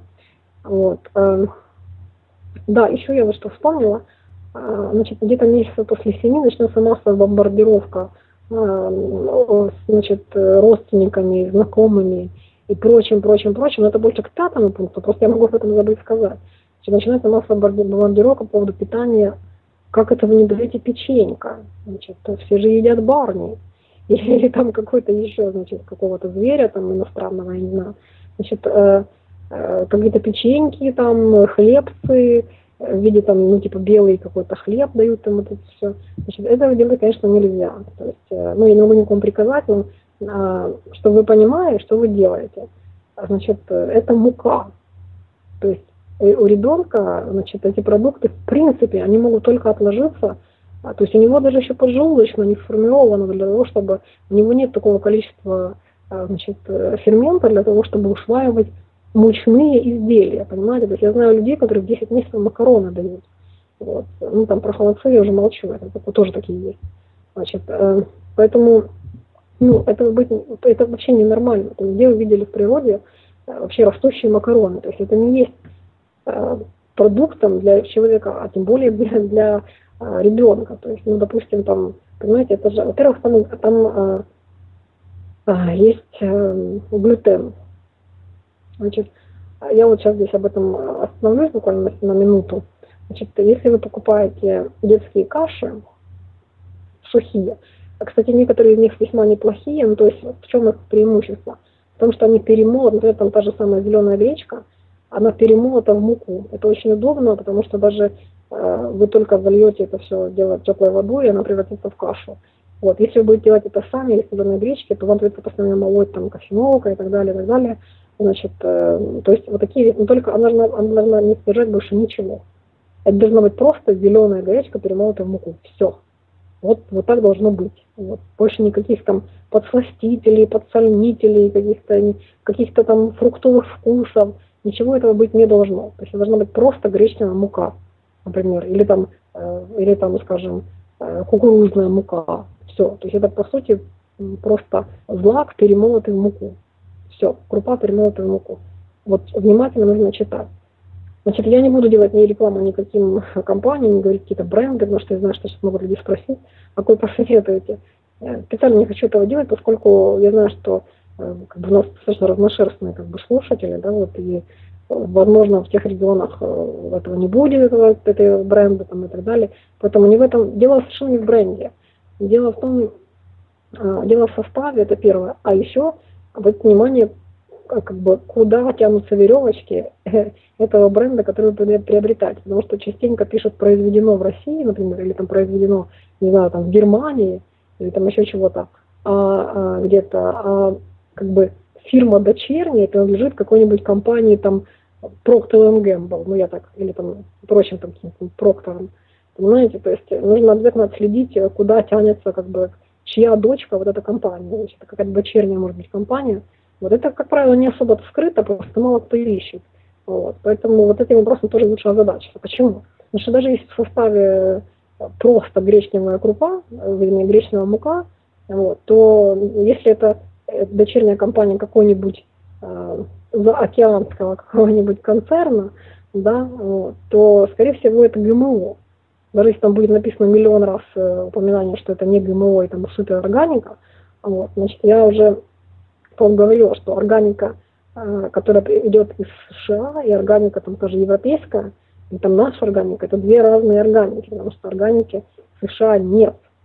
То есть, как бы они об этом не кричали, почему? Потому что все поля, они принадлежат э, корпорациям. То есть ни один фермер, ни одна компания не может э, посадить собственные семена. Они должны купить обязательно, это законодательно. Поэтому, когда я слышу об органических э, продуктах из США, ну, смешно. Поэтому вот обратите внимание, кому принадлежит эта компания. Неважно, где она зарегистрирована, неважно, где произведена. Вот, поэтому вот, вот это такой совет. Значит, а, потом, что касается, вот это вот, значит, кашки, вот эти можно употреблять в принципе, только опять же, смотрите на, на вот этот момент. Потом, значит, э, по поводу детского питания вообще к смеси. Значит, я уже немножко сказала, что а, не все смеси настолько страшны, не во всех случаях. На самом деле страшны 99,9%. Значит, а меня, я скажу то, чего не должно там быть ни в коем случае. Там не должно быть лактозы, там не должно быть э, э, глютена. Э, кто не знает, глютен – это белок из пшеницы, это клей. Это клейка вина, которая обеспечивает э, вот эту вот тягучесть такую, да, вот, значит, э, на него может быть вырабатываться антитела в организме ребенка. Вот. Потом э, вот эти вот кашки, которые продаются детские, то же самое. Значит, гречневая, кукурузная, это то, что можно ребенку там, ну, скажем, месяцев там от шести, ну, иногда раньше, от пяти, в зависимости от того, чем его кормили до этого. Если грудью, то раньше, ой, позже, если не грудью, значит, несколько раньше можно вводить. Вот. Так вот, э, вот эти кашки, они тоже должны писаться, что там нет глютена. Это тоже важно. Почему? Потому что, скорее всего, бывает такое, что вроде бы мука как бы гречневая, но, но она смешана с пшеничной. Вот, а пшеничную детям не надо, поэтому там могут быть вот аспекты вот этого глютена. Значит, такой момент. А, потом, значит, она не должна содержать никаких сахаров, я уже это говорила. По поводу детского питания вернусь. Значит, детское питание а, молочные, это ненормально, конечно. То есть, понимаете, это значит цельное молоко, а, которое просто как бы размельчили. Вот. И, в принципе, там добавили туда еще каких-то синтезированных витаминов. То есть это не, не настоящий витамин, это искусственно созданный. И, в общем-то, вы это все дело мешаете и кормите благополучно ребенка. Как правило, такие дети потом плохо переносят. Вообще, я скажу так, а если вам по какой-то причине пришлось привести ребенка на смесь, либо в роддоме там приучили, а, молока не было долго, да, либо там болели, нельзя было, температура, например, была там мамы кормящей, да, вот, ну, масса причин может быть. И вы на какое-то время перевели, то питание должно быть, во-первых, максимально безмолочное. Я сейчас попытаюсь объяснить, что это такое. Такое есть на самом деле. Значит, просто, как говорится, кто ищет, тот всегда найдет. Значит, э, и оно не должно содержать никакого сахара, никогда, ни в коем случае. Оно не должно быть сладким. Вот. Даже если вы купили, там написано без сахара, это нужно следить за этим четко, что там написано без сахара, то вы должны его попробовать. Вообще взять за правило всегда пробовать все, что вы даете ребенку, всегда. Вот, там кашки вот эти детские. То есть оно не должно, если вы чувствуете, что оно сладкое, меняйте, это не должно быть так. Вот. Значит, оно должно быть, ну, практически как трава, то есть оно не должно быть сладкое. Может быть, самая малость, там, чисто такое природная слабость. Вот. Но, как правило, оно даже несколько горчит, если честно, вот хорошего качества. Значит, э, и чем более горчит, вот, э, странно, сейчас странную вещь скажу, но чем более горчит, тем э, больше вероятность, что вот этот молочный белок там в минимальном количестве. А вот, что молоко в минимальном количестве. Потому что молочный сахар – это практически гарантированный гной в организме ребенка. То есть он, попадая в организм, он, начи... он не может расщепиться, он начинает просто гнить. Это, это отсюда, значит, насморк, отсюда бронхиты, пневмонии детские и прочее, прочее. Вот. Значит, что такое безмолочные смеси? Ну, их есть несколько видов. Во-первых, есть соевые смеси. А, значит, э, ну, есть несколько торговых марок, которые ими занимаются. А, честно сказать, я когда-то подумывала над этим моментом, значит, но а, значит, все-таки не советую. По какой причине? Значит, сегодня сложно найти немодифицированную сою отследить, там, ну, кто поставщик этой сои для этого молока. Значит, в принципе, хотя если вы копнете как бы исторические факты, то э, там индийский, вот индийский континент, вообще индийская страна, вот Индия, да, вот индийские все вот это вот, э, не только индийские, но вот все страны, которые ближайшие возле нее, в том числе, значит, они испокон веков использовали сою, вот как, как я про кедровый орех говорила, то же самое и сои делают. То есть она замачивается, потом перемалывается до состояния жидкости, процеживается, и из нее делается соевое молоко. Это вообще настолько старый метод выкармливания детей. Вот. Э, только единственное, что сегодня э, ну, по понятным причинам, да, найти там какую-то адекватную сою сложно. Но если у вас есть э, свои семена, которые там, не знаю, 10 поколений передавались от бабушки там, к, к внучке, то тогда, конечно, все намного проще. Можно делать это самостоятельно. Вот. А Поэтому вот это такой вариант, значит, есть. И есть э, смеси, которые так называемые гипоаллергенные. Значит, я сейчас попытаюсь объяснить, что это такое. Во-первых, она должна быть без лактозы, без глютена. Что такое гипоаллерген? Это значит, что молочный белок, там есть молочный белок, да, но он берется из сыворотки, во-первых, вот, то есть не из цельного молока, а из сыворотки. Извлекается молочный белок, белок и разбиваются на аминокислоты. Поэтому гипоаллергенные смеси, если вы на них посмотрите, в бутылочке они желтые. То есть стандартные смеси молочные, они белые, такого четко белого цвета. А вот эти, они желтые, потому что а, там белки разбиты на аминокислоты. Вот, и вы видите в, в, в бутылочке непосредственно цвет жиров. То есть белка концентрированного белого его нет. Да? Вот, значит, что это дает? Какой плюс мы выигрываем? Конечно, минус, что это искусственная смесь, но когда возникают, то есть мы как бы в социуме, да, вот, поэтому разные ситуации возникают в жизни. Поэтому что какой плюс? Когда белок разбит на аминокислоты, то по сути так называемый гидрогенизированный белок, то есть его уже гидролизу подвергли, да, то есть его уже разбили на аминокислоты. Это то, что должна, если вы дадите цельную молочную смесь, или там молоко какое-то ребенку, то вот этот процесс делает поджелудочная железа и ваша, и вашего ребенка. То есть, а, а это за нее сделали промышленным путем, то есть разбили этот белок. Что происходит? То есть оно начинает усваиваться, минуя вот эти белковые все моменты. То есть поджелудочная железа не вынуждена вырабатывать а, ферменты для разбивки значит, белка на аминокислоты. Вот это вот такой плюс огромный. Значит, которые, что вы выигрываете? Вы а, выигрываете то, что у ребенка не будет аллергий на фрукты, которые выводят продукты распада чужеродного белка, то есть красные. То есть у вас не будет аллергии у ребенка ни на цитрусы, ни на клубнику при такой смеси. Вот, вот это плюс. Это я сейчас ни в коем случае не защищаю, как бы поймите правильно, я не говорю, что все сейчас резко переводите на смесь. Нет, не в этом дело. Значит, дело в том, что когда есть необходимость, то нужно выбрать в пользу вот этого. Потому что в таком случае вы, вы выиграете вот этот момент, что вы сможете адекватно давать ребенку а, нормальные продукты и не вырастить аллергика. Потому что все стандартные дети, которые искусственники, на обычных молочных смесях, они практически обреченные аллергики. Либо на цитрус, либо на лимон, либо на грейпфрут, либо на клубнику у них будет что-то, либо на киви, либо на тополиный пух, или еще на что-то, потому что у них запаковываются, то есть на те продукты, которые эту слизь будут выводить. То есть вот это и есть аллергия, это вывод вот этой слизи из организма, вывод чужеродного продукта, да, продукта гниения этого. Вот, вот в чем как бы преимущество. Поэтому вот это основное правило выбора. Если есть необходимость перейти на подобную смесь, нужно выбрать гипоаллергенную.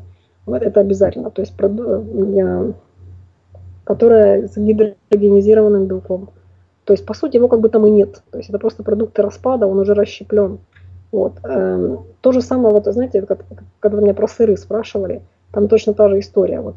Какой сыр можно есть, какой сыр нельзя. Значит, если вы уже прям вообще кошмар, не можете без сыра, прям страшно наркоман сырный, значит, то уже лучше есть ферментированный. То есть это сыр, который, ну, то есть молоко, которое, в принципе, оно, то есть оно хотя бы не будет вызывать аллергию. Это тоже слизь, конечно же, да, безусловно.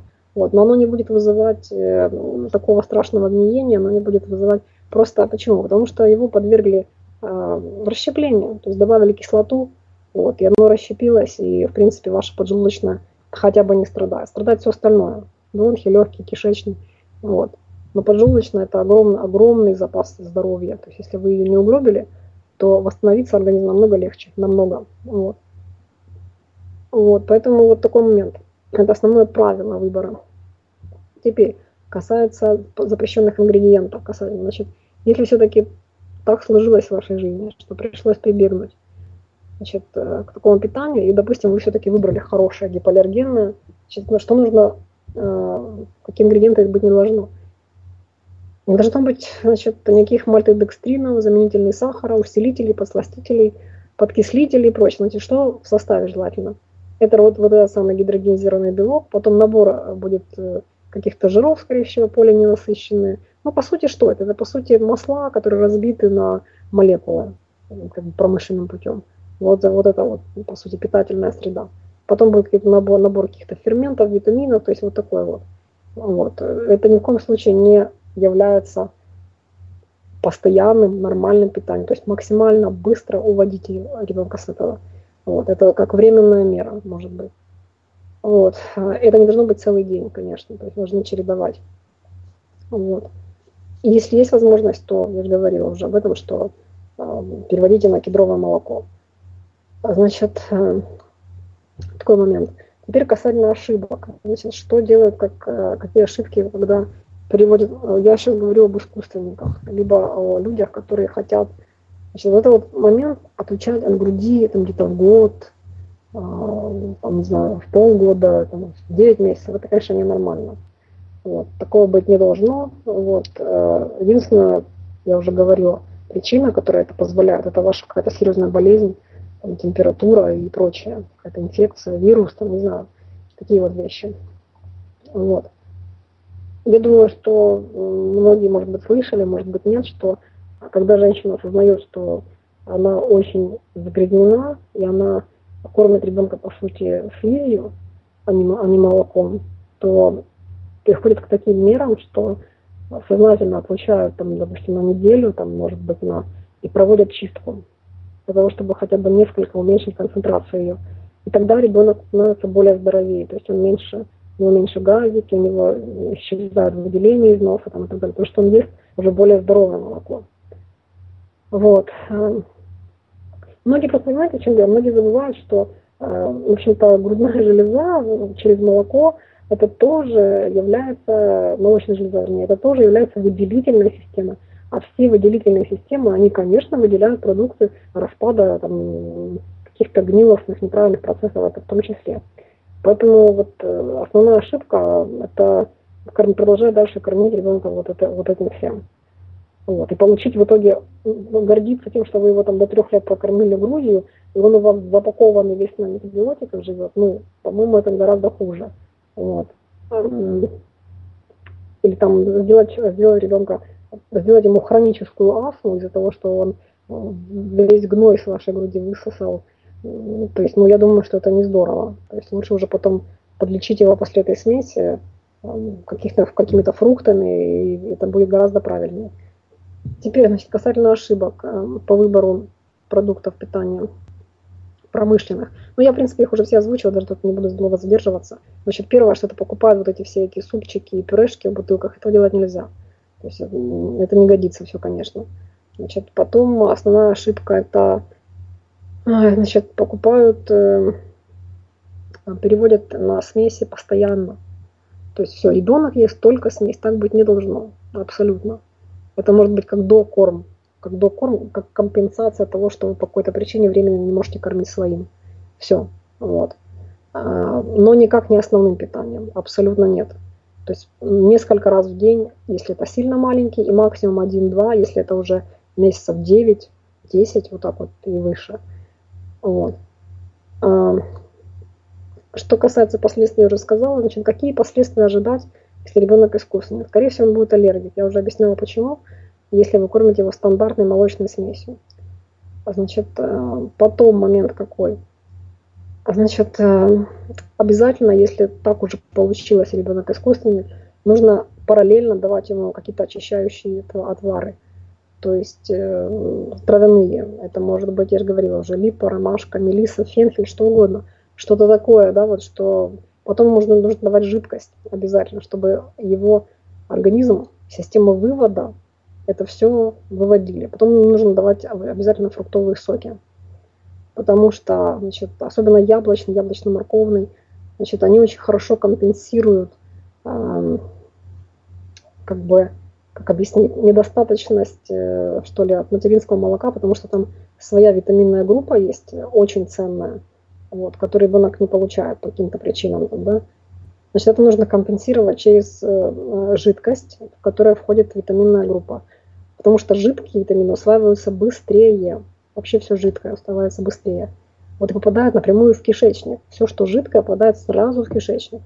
Вот. Ну, прям, ну как сразу. Ну, то есть это гораздо быстрее, чем пища, да, то есть это минуется процесс пищеварения, всасывание идет быстрее. Поэтому вы вот это компенсируете. Это нужно обязательно приучать ребенка к этому. А, а иначе будут последствия ну, не такие страшные, как э, при стандартном молочном питании, конечно. А, то есть не будет каких-то бронхитов там страшных, но все равно а, вы несколько обделяете, конечно, ребенка, вот, не давая материнское молоко. Вот, но поэтому нужно это компенсировать. Вот, вот такой вот основной обзор, который я хотела сделать. Э, возможно, у людей возникнут вопросы. Мы дальше его раскроем. Хорошо. Хороший у тебя получился доклад. Э, такой кратенький. Э, дальше есть, конечно, у нас вопросы. Я предлагаю перед вопросами сделать небольшую музыкальную паузу. Как ты на это смотришь? Да, да, пожалуйста. Да. В этот раз я поставлю еще одну спокойную песню из известного фильма «Бумбараш». Песня про коней, как они ходят над рекою, хочет кони водопоя. Э, я думаю, что эта песня вполне сойдет за колыбельную.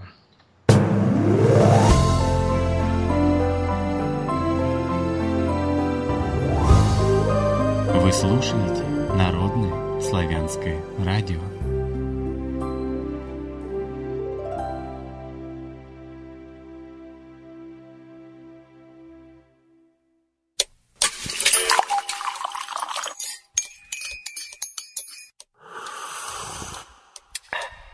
Продолжаем разговор. Продолжаем разговор на Народном славянском радио. Напомню, что по одному из современных календарей 14 июля 2016 года четверг, по одному из старинных, 13 день месяца получения даров природы, 7524 лета, шестица.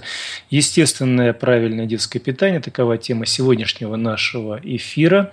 И главный автор-соведущий у нас Наталья Чернова. Если никто не возражает, то переходим к вопросам, которые появились в чате Народного славянского радио.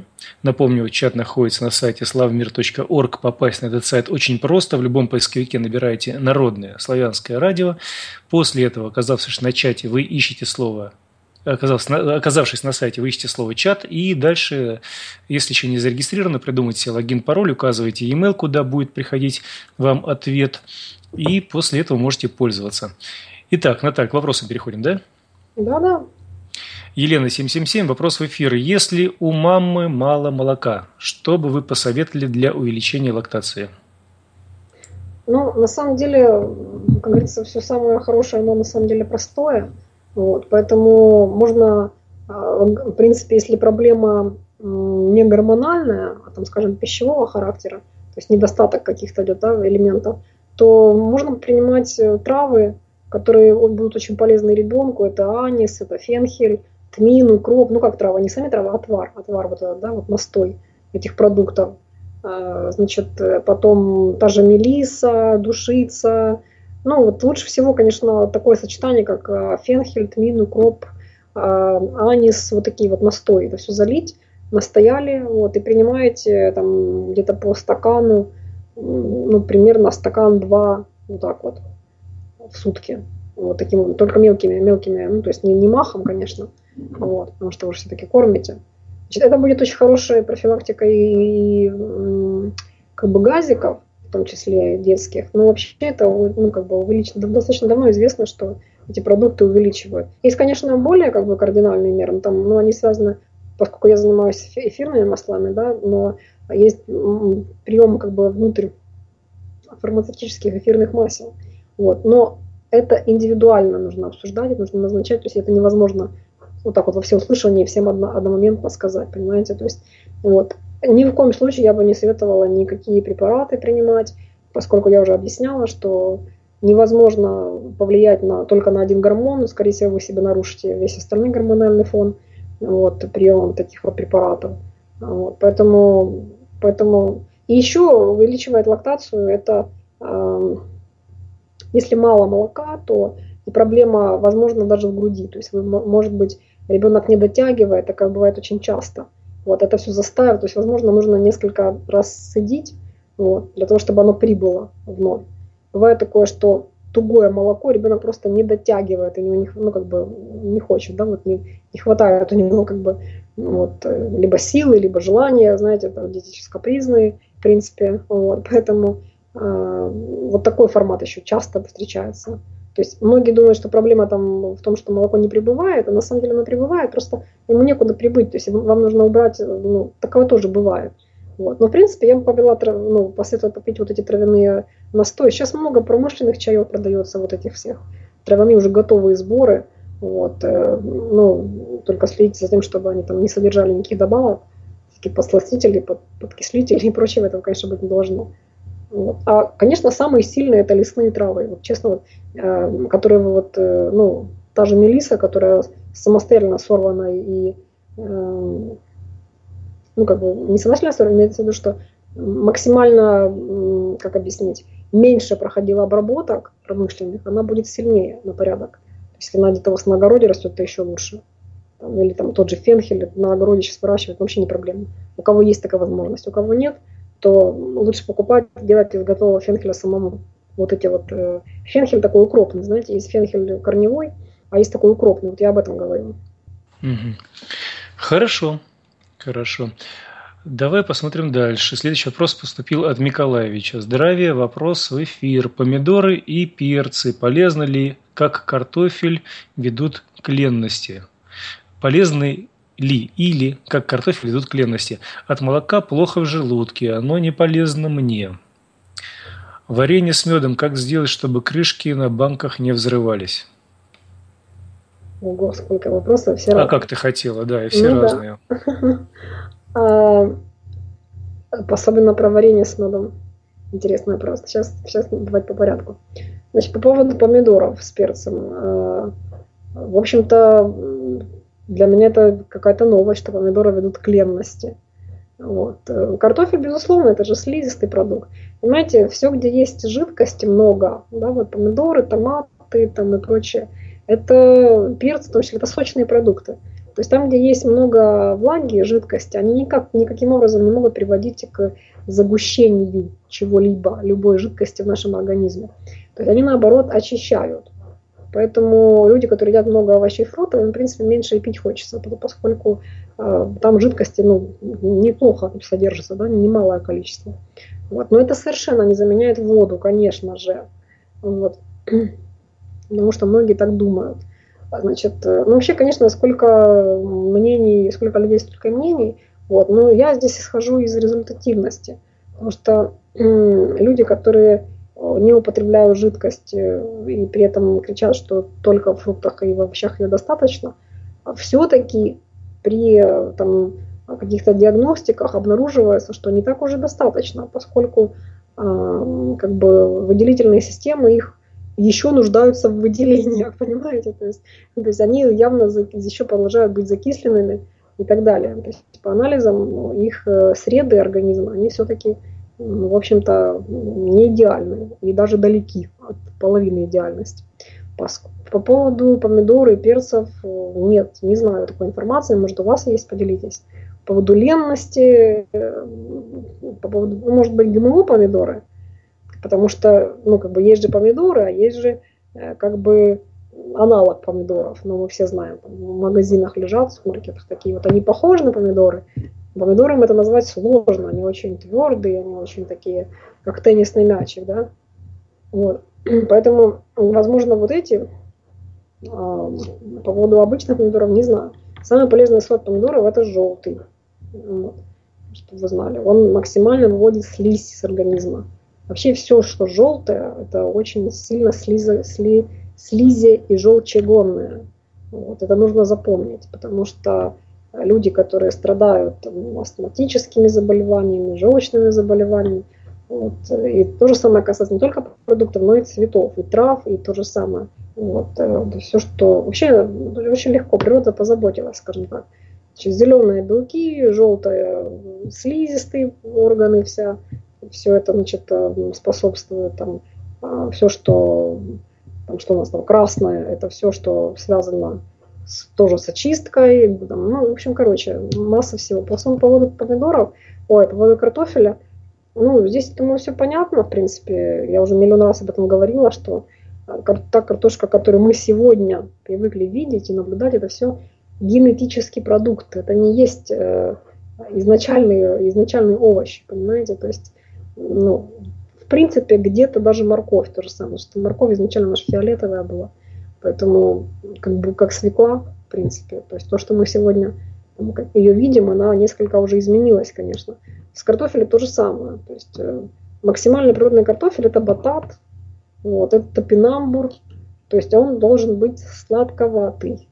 Вот, поэтому э, и употребляться он, то есть, понимаете, тот продукт, который пере, перестал быть съедобным в и вкусным, да, вот в стандартном сыром виде, первозданном своем, это уже видоизмененный продукт. То же самое касается, кстати, многие, не знаю, многих э, кабачков, многих сортов кабачков. Там та же история.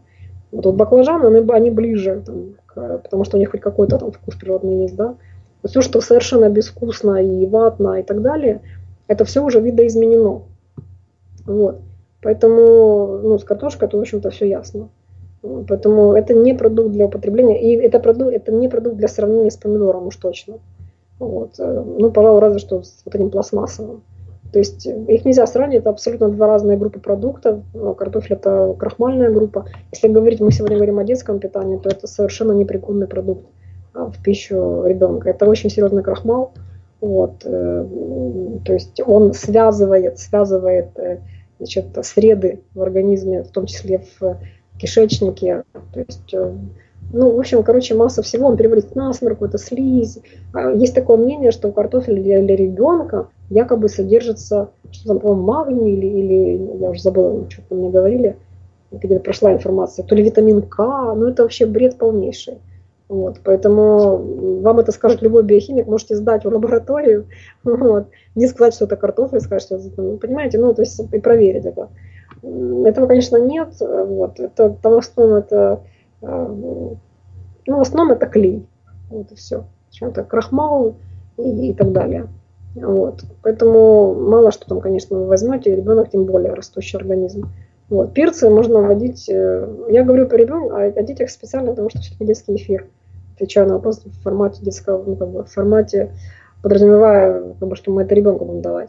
Касательно перца, э, месяцев до 10 я бы его не давала. По какой причине? Это продукт тяжелый. Вот, э, ну, как бы это хорошо, это овощ, все, но даже овощи, есть у них какие-то классы, да. Значит, э, потому как для его переваривания необходимо задействовать активно поджелудочную и перистальтику кишечника. У деток кишечник очень еще такой нежный, да, то есть им желательно нежные продукты более. Вот. Э.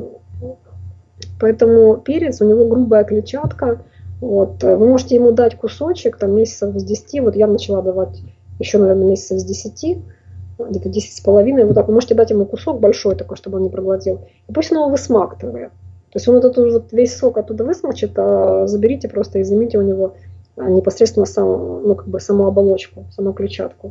Вот. И, кстати, на томатов, а, вот помидоры тоже желательно чистить, потому что эти шкурки у него не переварятся, то есть они вот в таком формате и выйдут, вот, э, эти шкурки. То же самое касается ягод многих, например, вишня. Вот, э, значит, вишня, э, как правило, тоже, она выходит в таком же форме, если вы его не подавите, то есть лучше ее помять, хотя бы вилкой. Вот. Потому что, скорее всего, он это проглотит в такой форме, играющей, да, и вот оно так и выйдет, и он мало чего усвоит. Поэтому лучше помните, чтобы он усвоил по максимуму из этого продукта. Ну, вот так отвечу на этот вопрос. Что там дальше было? А, ну, там еще было про молоко. От молока плохо в желудке. Оно что, мне не полезно?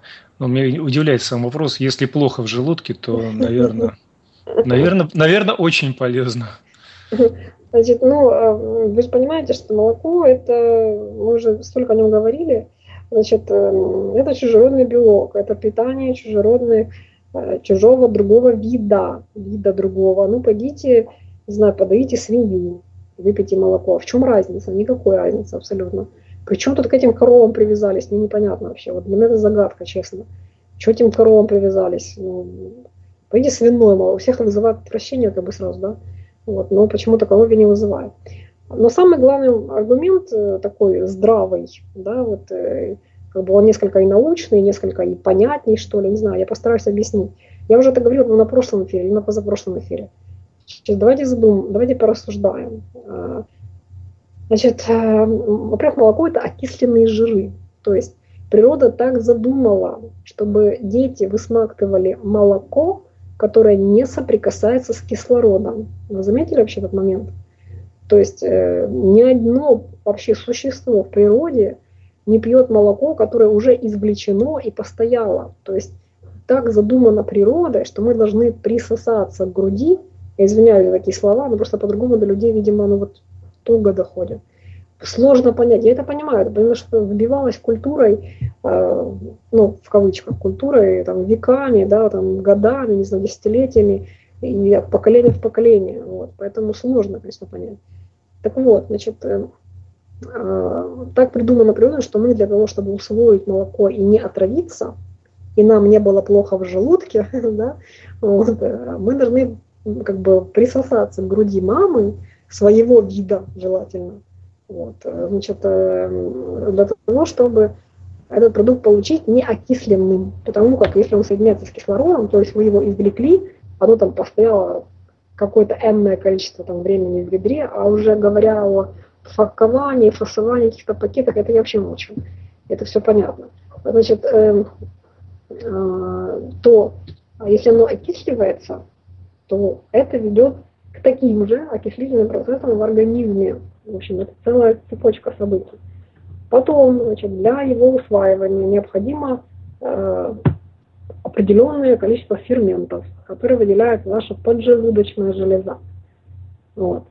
И там есть э, определенная часть этого органа, выделяет значит, гормон, который называется инсулин. Значит, если вы это дело пьете, то там происходит, ну, я не хочу в это все научно вещь входить, короче говоря, происходит диабет, будем так говорить. То есть инсулинная недостаточность. Вот и все. То есть расщепление молока происходит. Это первый момент. Второй момент. Значит, там есть белок, который будет гнить. Точно такой же белок, как есть в мясе. Если этот белок гниет, вам плохо в желудке. Я надеюсь, так понятно. Вот. Потому что все, что гниет, нам от этого плохо. Потому что все, что не органическое, продукты гниения это не органическое, организм будет выводить, поскольку мы умная такая биологическая машина, что если нам от чего-то плохо, мы должны это вывести. Если мы что-то выводим, то э, значит, на это тратится энергия. Вот я об этом уже говорила не раз, что на любой процесс, органи... Э, происходящий в организме, тратится энергия. Когда это касается детей, это особенно страшно. Потому что та энергия, которая должна идти на их рост, на их развитие и так далее, она уходит на нейтрализацию вот этого всего кошмара, который запихивает в их, в их организм, понимаете? То есть он эту энергию не тратит. Вот я пример расскажу на собственной дочери.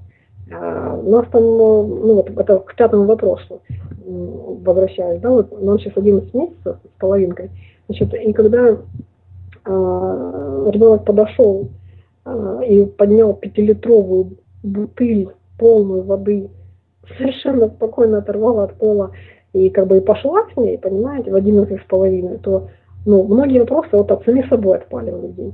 Почему? Потому что та энергия, которая должна быть свободна на вот это развитие, на вот это вот прыгание, бегание, да, на, на развитие рост организма нормально и так далее, она у, у всех остальных детей, она идет на... Поэтому остальные детки на фоне таких вот детей, они более вялые, они более усидчивые. Многие думают, боже, невероятно спокойный ребенок, он такой усидчивый, посадив коляску и сидит. Если у вас ребенок совершенно спокойно сидит в 10 11 месяцев, там, 12, год, э, сидит в коляске там 2-3 часа, я бы напряглась, честно, потому что, скорее всего, там плохо в желудке из-за молока. Ну, я так утрирую, понимаете, вот о чем я говорю. То есть у него огромный, огромный ресурс энергетический, который должен высвобождаться, он идет в данное время, вот эти часы, на вот это перелопачивание вот этого всего, чем его накормили. Понимаете, ему некогда, ему, у него нет силы прыгать, бегать. Вот. У него нет силы поднимать пятилитровые баклажки. Вот, вот в чем момент, который надо понять. Вот. Ну, я думаю, что я доходчиво более-менее объяснила. Вполне, вполне. Ну, а что скажешь про варенье с медом? Как сделать, чтобы крышки на банках не взрывались? Тут как ты специалист, не специалист? Ну, я, наверное, не специалист по консервированию, потому что я не консервирую. Вот. Я противник этого. Вот. Э, любая консервация – это не жизнь. Ну, я думаю, так тоже понятно. Лекарство законсервировано, это не живое, вы должны это понять. Вот. Поэтому, если вы делаете какой-то продукт с медом, а, там, или какие-то ягоды, храните это в холодильнике под обычной крышкой. Все равно вы не сделаете запасы на 10 лет, да и незачем, в принципе, вот это делать. Ну, ну, я не знаю, может, раньше ядерная война, но я думаю, что варенье с медом нам во время ядерной войны вряд ли поможет.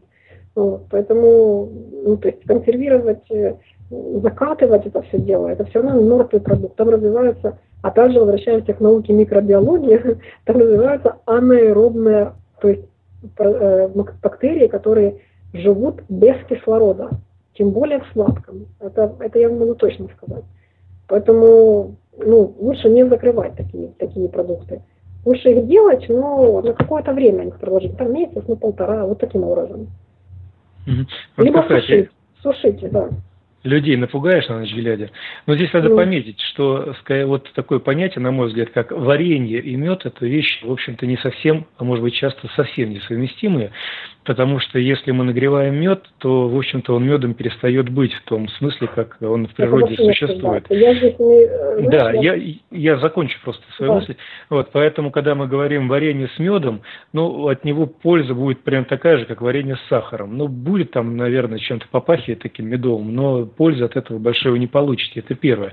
Во-вторых, мед сам по себе, выдержанный, правильный мед от правильных пчел, это уже хороший консервант. консервант Поэтому да, поэтому если вы хотите что-либо законсервировать на какое-то непродолжительное время, ну возьмите вы сухие, ну помытые, потом э, подсушенные фрукты те же самые, залейте просто медом, поставьте и все. Но если вы начинаете разбавлять это все дело, то в этом случае э, естественный медовый консервант разбавляете, и он превращается просто в сладкую среду, в которой бактерии могут активно развиваться. Это тоже надо иметь в виду, когда вы будете это все делать. делать. Поэтому э, есть такие ураганные препараты, э, которые в домашних условиях делаются для повышения, там, кто говорит, гемоглобина, кто там энергии, кто что еще, где применяется мед, ну, орехи с медом, да, вот бывает так, что человек вообще там, вот невозможно подняться, ложку в рот засунул, мед с орехом, там разжевал, как долбануло, подскочил, побежал дальше.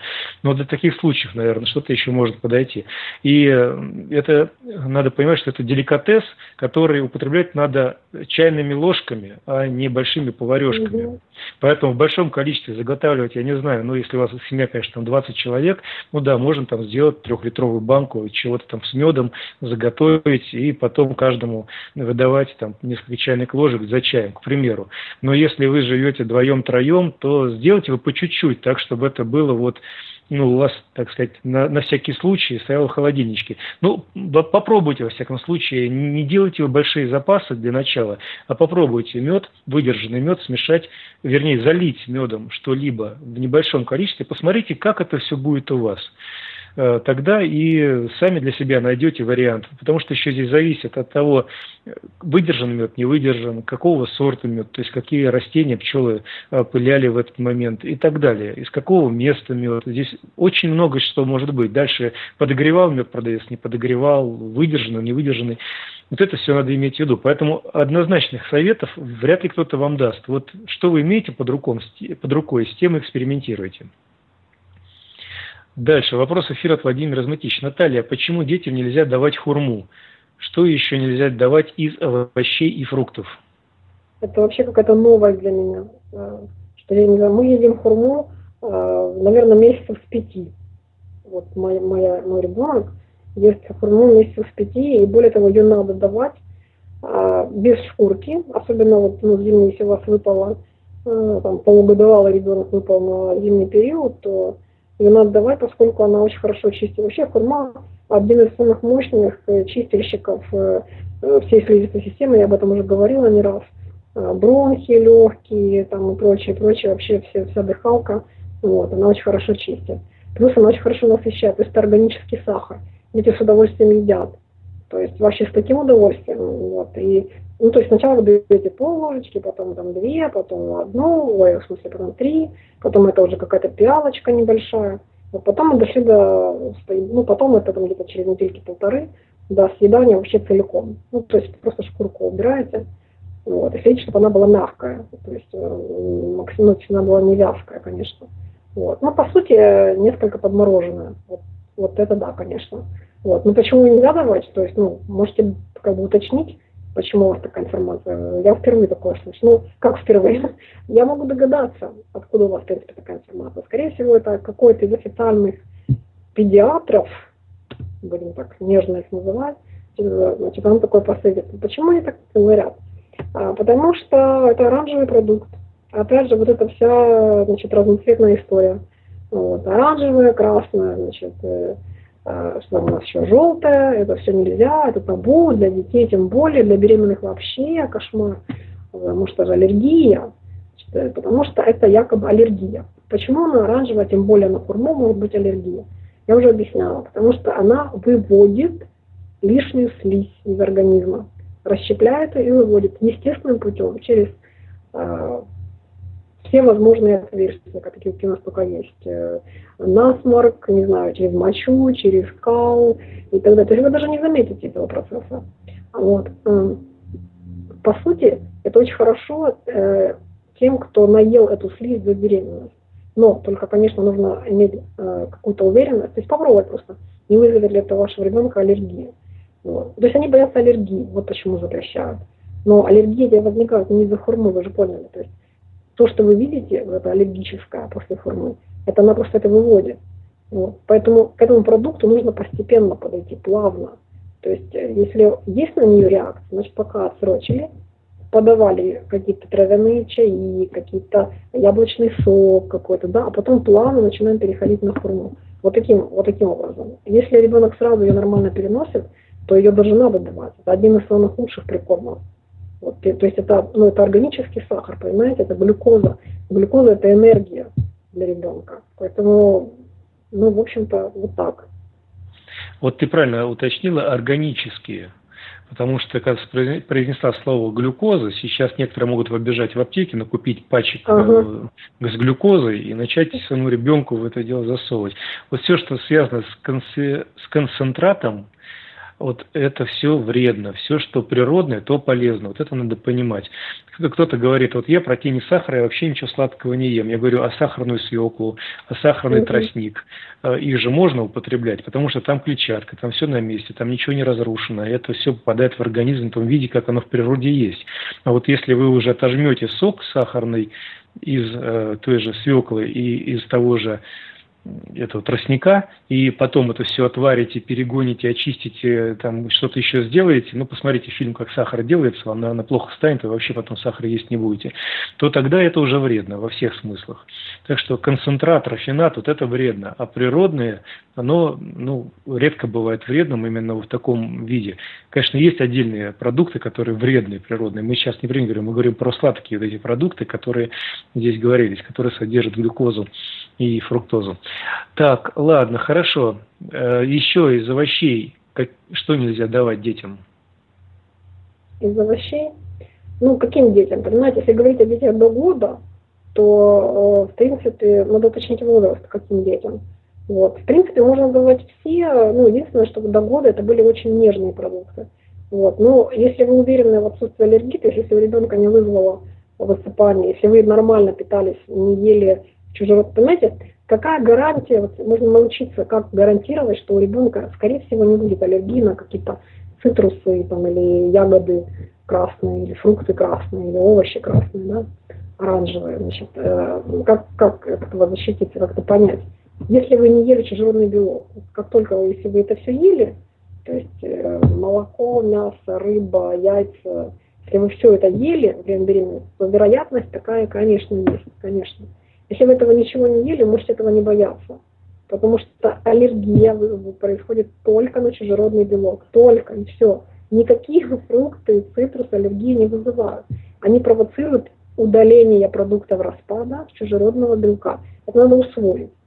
Вот. Поэтому, если вы значит, это все употребляли во время беременности, то, конечно, у ребенка может на это пойти реакция, на эти продукты. Потому что он упакован продуктами распада этого белка, то есть гноем, то есть гнилью. Вот. Э, значит, это надо понять. Поэтому к этим продуктам, фруктам, овощам такого цвета нужно, нужно идти постепенно. То есть сначала очистить слизистые через продукты не красного цвета, но их все равно нужно есть. То есть это, это те же баклажан, ой, извините, э, кабачки, это те же патиссоны, если говорить об овощах, это желтые помидоры, вот, э, они не вызывают никаких реакций, но при этом мощно чистят тоже.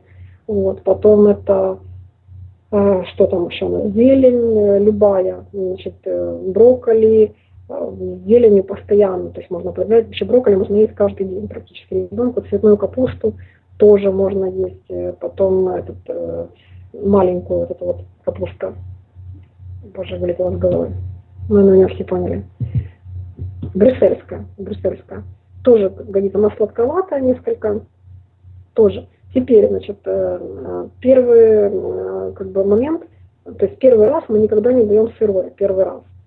То есть вы можете дать ей попробовать на вкус, но не дать проглотить, чтобы она познакомилась с вкусом, ну, ну или там, ребенок познакомился с вкусом. Но не давать проглотить. Почему? Потому что жесткая клетчатка. Значит, первый раз мы даем это паром. Почему? Даже, даже если вы ели эти сырые продукты, потому что все равно 99% из нас, э, мы не являемся сыроедами изначально, из рождения. То есть микрофлора наша все равно вареноедная, да, она перешла ему все равно.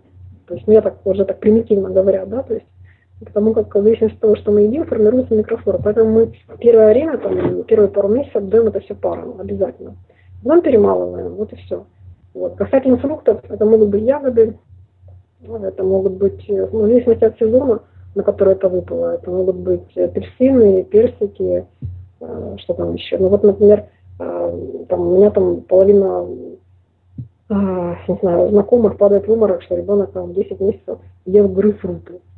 Понимаете, то есть ей очень нравится. Вот. Ну, то есть, понимаете, надо смотреть от ситуации. То есть, возможно, в вашей ситуации как бы грейпфрут и не стоит есть поскольку они могут вызывать, вызывать брожение, потому что, например, вы давали там молочку или там, вы там давали какие-то супы вареные. например, часто. То есть это тоже фактор. Вот. Но не давать совсем фруктов нельзя. То есть просто давать эти фрукты, которые максимально нейтральные. Ну, то есть это могут быть яблоки, это могут быть сливы, какие-то, не знаю, там, овощи, любые абсолютно, ну, любые в рамках там, его нежности. Потом месяцев там, с 8, ну, с 9 хотите, чуть позже, можно давать свеклу, несколько там тоже пропаренную, перетертую, вот. Не вываривайте ее, потому что вы это все сольете просто с водой, и она не получит практически, ну, она получится никакой. То есть это просто... Вообще, если вы выварили овощи, вылили эту воду и дали ему, это просто мертвая белковая структура. То есть э, маленький организм, это тоже слизь, только она в меньшей концентрированной форме, чем, чем там, скажем, от мяса и так далее. Вот. Поэтому в паровой форме можно давать вот такие вот максимально нежные продукты. Вот. Ну, пожалуй, вот э, зелень, я же говорю, не, не ароматические, не, э, не какой там кинзы, конечно, я уже это говорила, вот, но тем не менее ее нужно давать. То есть это может быть тот же фенхель, укроп, э, петрушка, потом листья салата, это могут, если вы тем более выращиваете сами, это вообще будет здорово. Шпинат, вот это все можно называть сырым. Вот зелень вся сырая. Ее, то есть, тем более шпинат вообще варить нельзя. Вот, вот эти все шпинатные супы меня просто вообще вот удивляют. Вот это же очень-очень концентрированно. То же самое щавель, это тем более. Это все щавелевая кислота, она становится ядовитая, практически едучая. Щавелевая кислота становится, которая выварена из щавеля. Вот. Э, очень серьезный продукт, который может вызывать эрозии, может вызывать язвы в желудке. Она, но это работает только при его выварке, то есть когда его вы варите. Поэтому этого делать нельзя, конечно, тем более детям. Поэтому вот так вот. Хорошо. Следующий вопрос от Инварь пришел, который вторит вопросу Владимира Змитищ. А, я вот очень много слышу о том, что есть нельзя. Вот бы где найти список того, что есть можно. А то неудивительно, что некоторые потом переходят на прану. Ну, те, кто переходят на прану, я думаю, что они по другой причине это делают. Вот, потому что есть нечего. Просто, э, хотя, кстати, это хороший, хороший вариант. Вот. Э, касательно, что можно, ну, в общем-то, список тот же. Фрукты, овощи, некоторые крупы. Опять же, детям не все крупы можно. Ну, в принципе, и взрослым тоже. То есть все, все крупы, которые белково содержат. То есть глютен, что такое глютен? Надо разобраться. Значит, э, не надо давать детям э, ну, как бы крупы, которые содержат глютен. Это белок, который генетически э, необходим птицам. То есть это значит, определенные сорта пшеницы, это, то есть не, не, не, все, вот, не все пшеничные необходимы людям. Там же тоже у них сорта есть. Вот. Как правило, распространенное, то, из чего делается сегодня хлеб, вот этот белый дрожжевой, да, стандартный, это все глютен содержащие сорта пшеницы, то есть э, это еда птиц, мы забираем еду птиц, то есть у зверей мы забирали там мясо, птиц, пшеницу, то есть и так далее. Вот, э, значит, ребенку вполне достаточно будет э, ну, кукурузной, потом что там у нас еще гречневая, зеленая, конечно, рис такой не специальный тоже сорта там есть. Но, как правило, детские каши они это содержат. Ну, то есть не, которые содержат клетчатку, не крахмальные сорта. А, что там еще у нас есть? Некоторые злаки, вот, э, а также которые не содержат вот этого белка, вот, глютена. глютена. Что глютен это просто генетический белок, предназначенный птицам. Наш генетический белок, он находится в зелени, все, что зеленого цвета. То есть наша ДНК его распознает. Это он скажет, э, вот э, вообще хорошая не знаю, такой тандем в плане объяснения пищеварения, наверное, получился бы из такого честного генетика и честного биохимика, на мой взгляд, потому что они вот э, в тандеме могли бы очень, в общем-то, серьезный вклад сделать. Ну, они бы, может быть, и уже сделали бы, если бы, если бы не определенные ну, факторы да, на нашей планете, не так говорить. Ну, вот, поэтому, э, в принципе, это все не, не такая проблема даже, даже понять. Вот. Поэтому э, употреблять стандартный список, это некоторые крупы, Э, не глютен содержащий и не слизистый. То есть овсянка каждый день это ну, так нельзя делать. Это очень слизистый продукт, э, вот, это вязкий продукт.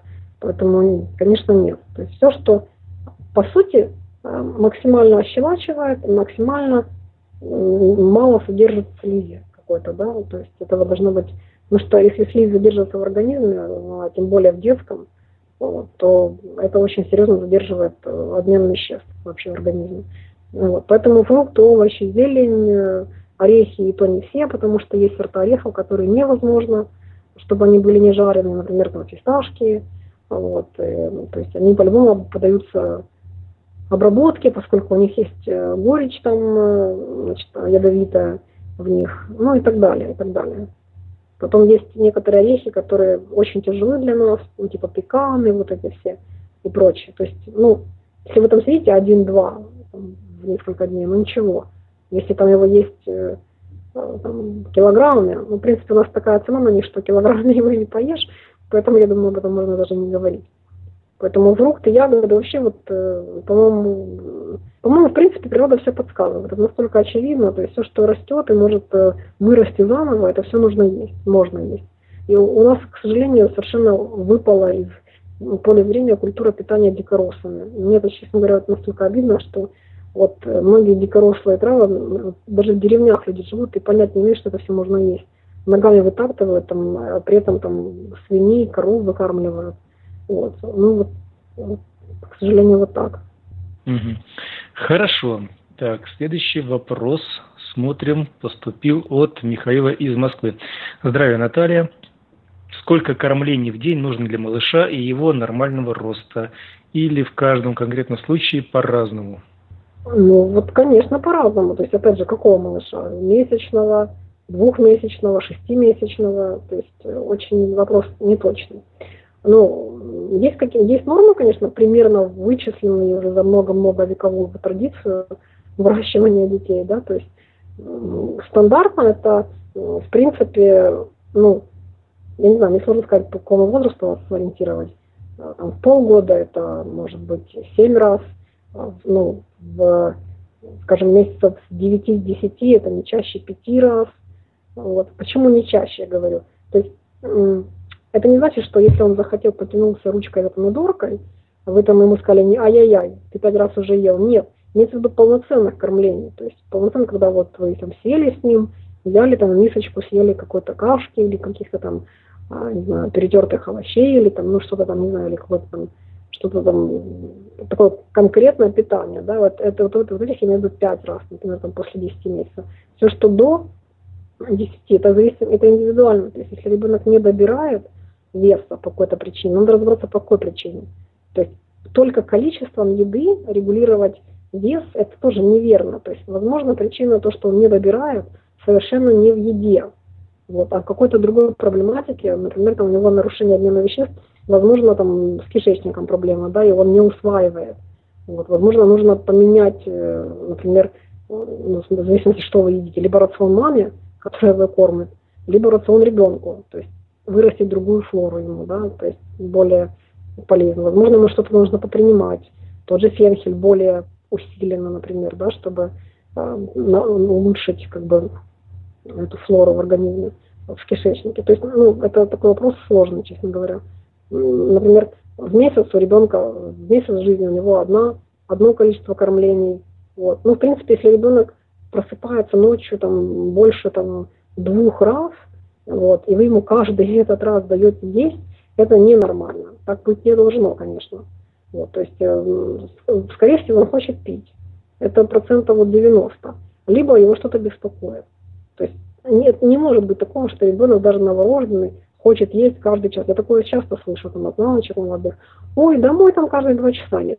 Ну, так не бывает, понимаете? То есть вы же не хотите каждые два часа есть. Почему вы думаете, что он как-то отличается от нас? То есть он, он может хотеть там каждый ну, ну три часа, но не знаю, но не каждый, каждые два часа, каждые там четыре часа он может хотеть есть. То есть так не бывает. Это ненормально, что ребенок ест на протяжении суток каждые два часа. То есть это, это что-то ненормально. То есть он, либо ему, либо, либо ему мучает жажда, либо у него повышена, может быть, даже глюкоза, может быть, у него, ну, то есть, понимаете, то есть где-то, где-то надо искать причину. То есть либо его, либо ему пить хочется, либо ему не хватает питательности в вашем молоке. То есть количество вы ему даете, а питательных элементов нет. То есть э, не всегда количество должно быть большое. И вообще я вам скажу, что у маленьких деток лучше регулировать ценность, калорийность как бы, пищи не размером. То есть, ого, мы вот, значит, весили там 5 килограмм, значит, едим там 100 грамм, грубо говоря, да, вот мы стали весить 10, значит, едим 500 грамм, ну, я так образно.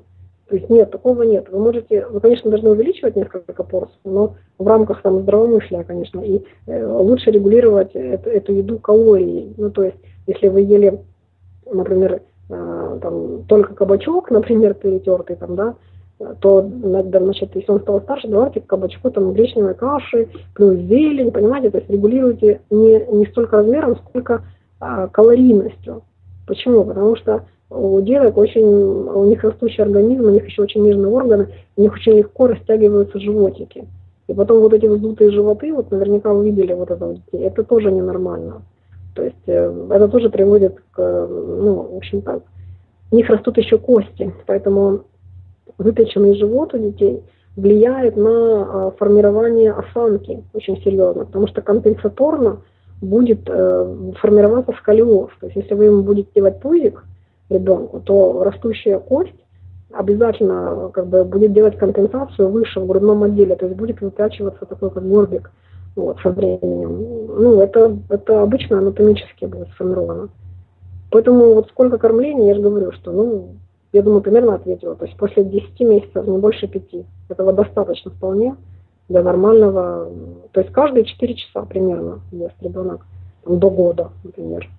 Угу, угу. Вот то, есть, то есть получается чередовать еду с питьем, еду с питьем. Лучше лишний раз дать водички попить, чем лишний раз поесть, потому что, да, если, если скорее всего...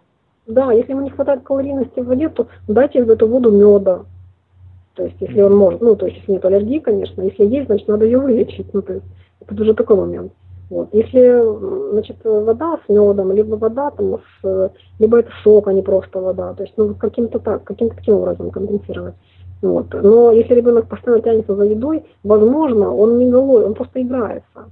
Такое часто, обычно это, это очень сильно пугает бабушек, что, о, это же не ест мясо, понимаете, значит, он не наедается. То есть э, ребенок, скорее всего, просто хочет, ну, знаете, как вот э, взрослые едят, и я тянусь. Ну вот у него такая логика. То есть он наест уже прекрасно, до отвала. То есть э, все, вы уже по нему замечаете, у них обычно животики так, такие полненькие становятся. Это заметно. Он просто играет уже с едой. А взрослые думают, что он не наедает. Или вот это, когда ребенок начинает произносить первые звуки, это вот такой ад э, с родственниками начинается. Потому что когда ребенок произносит ням-ням, а всем вокруг кажется, что вы его морите голодом, потому что вы же его травмой кормите, понимаете? Он говорит вот это ням-ням, потому что ему просто интересно произносить звуки, он их изучает. Вот, поэтому, ну, вот такой момент тоже еще есть, конечно. Здесь надо еще отметить, отметить, наверное, что э, главным показателем, наверное, сытости и несытости ребенка является увеличение его веса и роста да, в зависимости да. от его возраста, да, это первый показатель. И второе, его активность. То есть, например, если он у вас поел, но после этого продолжает плакать или продолжает нервничать, то, скорее всего, ему было нужно не еда, а нужна была жидкость в, это, в молоке. Это тоже надо учитывать. И поэтому, если вы попробуете дать, например, ему немножечко, кстати, а сколько немножечко вот водички ему давать? Опять же, понимаете, от возраста. Если мы говорим о возрасте там, до трех месяцев, то чайная ложка в сутки. Угу. Ну вот, если вы дали, например, вот эту нужную норму, чайную ложечку, а постарше там уже побольше даете, да? Да, да, и, и видите, что он успокоился, то это как раз вот то, что ему не хватало. Потому что, например, сейчас э, у нас во многих местах жара установилась, и дети просто страдают обезвоживания, просто потеют, потому что еще в квартирах, там, в домах жарко, э, еще многие бабушки приходят, ребенка начинают кутать в какие-нибудь там пеленки, там, дедушки, на улице вроде жарко, хотелось бы ребенку, например, там, ручки, ножки в стороны развести, чтобы ветерком его обдувало теплым, да, а он лежит там укутанный в этих простынях, в пеленках, во всем остальном, потный, как я не знаю кто, как мышонок, да, и уже потерял воды там больше, чем чайная ложечка, а мама ему сиську сует а он хочет воды. Вот это тоже надо учитывать. Так что просто смотрите за поведением ребенка. Не всегда ему нужна еда, иногда ему нужна вода. Вот то же самое, что и у вас. Ладненько, ладненько. Вообще, Давай дальше. вот не да. забыла, секунду, один момент. Значит, когда ребенок уже подрастает, ну там месяцев после 10, они начинают вот э, э, копировать поведение взрослых. Это все, конечно, знают. Вот. И еще, э, значит, ребенка надо занимать, понимаете, вот э, не надо акцентировать его жизнь вокруг еды, и все. Потому что у взрослых это там вот лет до пяти, по крайней, ну, по крайней мере, ну, вот я по своим знакомым знаю, и, и медицина вся на этом крутится, значит, э, вся его жизнь вокруг еды. Боже, он не будет есть, значит, все, конец, конец жизни. Если вы посчитаете на калории, то мы на самом деле детей всех перекармливаем. Всех. Вот, потому что, ну, чем, ну, вот наверняка знакомо уже тем, кто интересовался здоровым питанием, вот такой вот э, такое выражение, что чем меньше мы едим, тем больше у нас энергии. Как это не парадоксально, но это так. Потому что чем больше мы начинаем значит, э, пичкать организм продуктами, тем больше мы энергии потребляем на ее расщепление. Вот такой момент. Поэтому, э, конечно, мы тут не параноеды, и понятно, что мы должны как бы питаться, тем более ребенок. Но вот это, вот это понятие, что э, ему надо очень много, потому что же он растет – это вообще глупо. Это все равно, что считать, что кусок мяса, который вы съели, тут же прирастет к мышце, потому что же это белок, понимаете? Это очень прямолинейная логика людей, которые не понимают, что пища, которая выпадает в организм, она проходит колоссальное количество превращений. Вот. И только поэтому ребенок вполне может жить на воде. Вот, ну как на воде? На жидкости, неправильно выразилась, на жидкости. Например, особенно в летний период, это могут быть соки, овощные, фруктовые, любые. Это может быть вода с, на, с лимоном, господи, с медом. Вот. Это могут быть какие-то травяные отвары и так далее, и так далее. То есть он может есть не так часто, но больше пить вот такой питательной жидкости, потому что любая жидкость, которая не просто вода, да, которая является там, либо соком, вот, либо э, любым овощным фруктовым, либо водой с медом, это и есть питание клеточное. То есть у нас у людей отсутствует понимание клеточного питания мы все привыкли к питанию желудка. То есть они, мы все, у нас все думают, что мы кормим, кормим живот. Понимаете, что происходит? На самом деле мы же кормим клетки, клетки получают э, питательные вещества, они растут, они делятся там и так далее. Клетки всего организма, клетки костей, клетки там ткани, органа и так далее, и так далее, и так далее. Вот. Как только мы это все поймем, так перестанет быть страх, что, о боже, мы два часа мы еще не поели, какой ужас, понимаете? Вот это, ну, то есть не будет этого рабства еды. Поэтому не бойтесь, если вы там, э, ну, то есть, если вы не дали плотной пищи ребенку, но при этом он, например, там выпил стакан сока. Ну, например, там, если это ребенок, там, скажем, месяцев 7-9, он спокойно может выпить 150 грамм сока, например, яблочного. И он, и он поел. Вот у многих взрослых непонимание, не, ты его поел, ты его не покормила. Да нет, я его покормила. Просто это питание клеточное, понимаете? Вот в чем еще момент. Особенно летом это актуально. Угу. Вот ты сказала про яблочный сок. Я так представляю себе тех, кто немножечко не понимает, что такое яблочный сок. Они сейчас ломанутся быстренько в магазин, а, да, купят магазин. банок или этих вот как там, бутылок или пакетов с этим восстановленным из порошка с различными ароматизаторами яблочных соками и начнут пичкать детей, а потом скажут, что там, Наталья, там не то посветло. Да, Имеется да. в виду свежевыжатый яблочный Ольга. сок или яблочное пюре, которое приготовлено вами, и вы должны быть уверены, что это это за яблоко, откуда оно появилось на вашем столе, и что там фермер с этим яблоком делал, чем он его пичкал, чем он его травил, чем он его защищал от э, всяких жучков, паучков и так далее. Поэтому ответственность перед вами стоит не только, чтобы накормить ребенка, а чтобы накормить тем, что подходит для ребенка, что не вредно для него, в общем-то, и что не вредно для вас.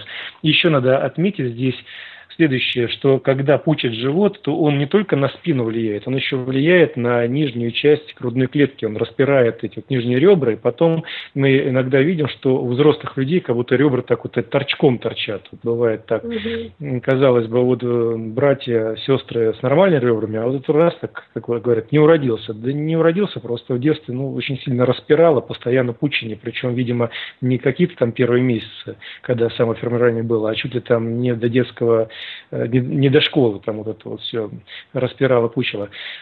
Вот, э, ну ладно, давай еще два вопроса осталось у нас, которые я сейчас пока вижу. В чате у нас бурное э, обсуждение, как будто я попал на форум гурманов. Тут у нас про что только не говорят. вот ты сейчас что скажешь, обязательно там 10-20 э, суждений кто-то напишет. Итак, вопрос от Олега из Иркутска. Наташа, из твоих предыдущих вещаний, вещаниях я понял, что ты противница употребления соли. Но ведь соль, как тебе известно, участвует в водно-солевом минеральном обмене во внутриклеточном пространстве организма, а также во взаимодействии того же э, организма с окружающей средой, теплообмен, терморегуляция и так далее. Природная соль не промышленная. Во все времена у многих народов была на вес золота, так как она не содержится в достаточном виде в продуктах питания. Да и любимое лакомство у северных оленей – это соль. Кстати, дополню, не только, не только у них. Не считаешь ли ты, что твое авторитетное мнение, а ты человек публичный, может так или иначе негативно повлиять на здоровье людей, доверяющих мнению специалиста? Благодарю. Олег из Иркутска. Интересный вопрос. Вопрос, конечно, интересный, да.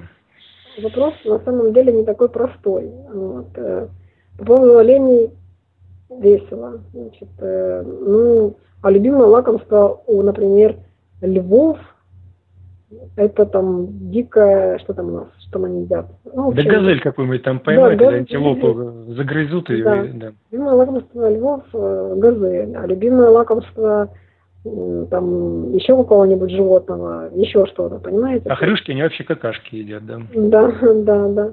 То есть э, я не поняла, почему поление, если честно, как бы к людям. Так, вот на минуточку. Ну да ладно. Значит, по поводу соли. Значит, э, вы, наверное, немножко неправильно поняли. Я не противник соли, я противник ее концентрации в нашем рационе. Значит, когда возникает необходимость солить продукты. Если вы задумаетесь, то вы видите, что только в вареном виде. Потому что вареный, например, помидор, я уже об этом говорила, он теряет соль. То есть эта соль становится более концентрирована, вот, она связывается, вот, и практически вы ее не ощущаете, то есть становится никакой. Если вы этот же помидор высушите, опять же я об этом говорила, то вы почувствуете, что он соленый. Поэтому я говорю о органической соли. Теперь, что касается соли, э, которая вот там добывали, на цена, безусловно, безусловно, да, как, как добавка к ощелачиванию там каких-то микрограммах, вообще там микронах, я не знаю, в сутки, возможно, да, вот.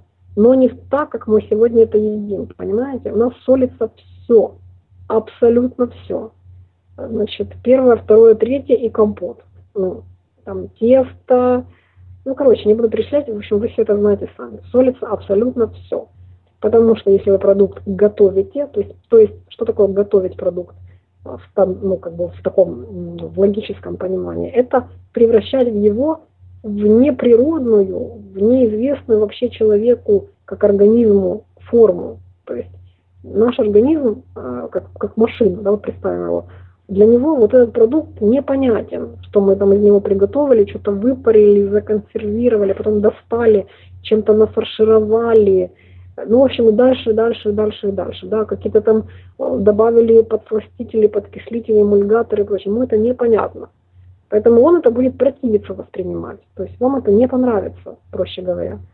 Поэтому, чтобы обмануть мозг, и вы смогли это проглотить, мы придумали это все дело солить ну или для нас придумали это дело солить.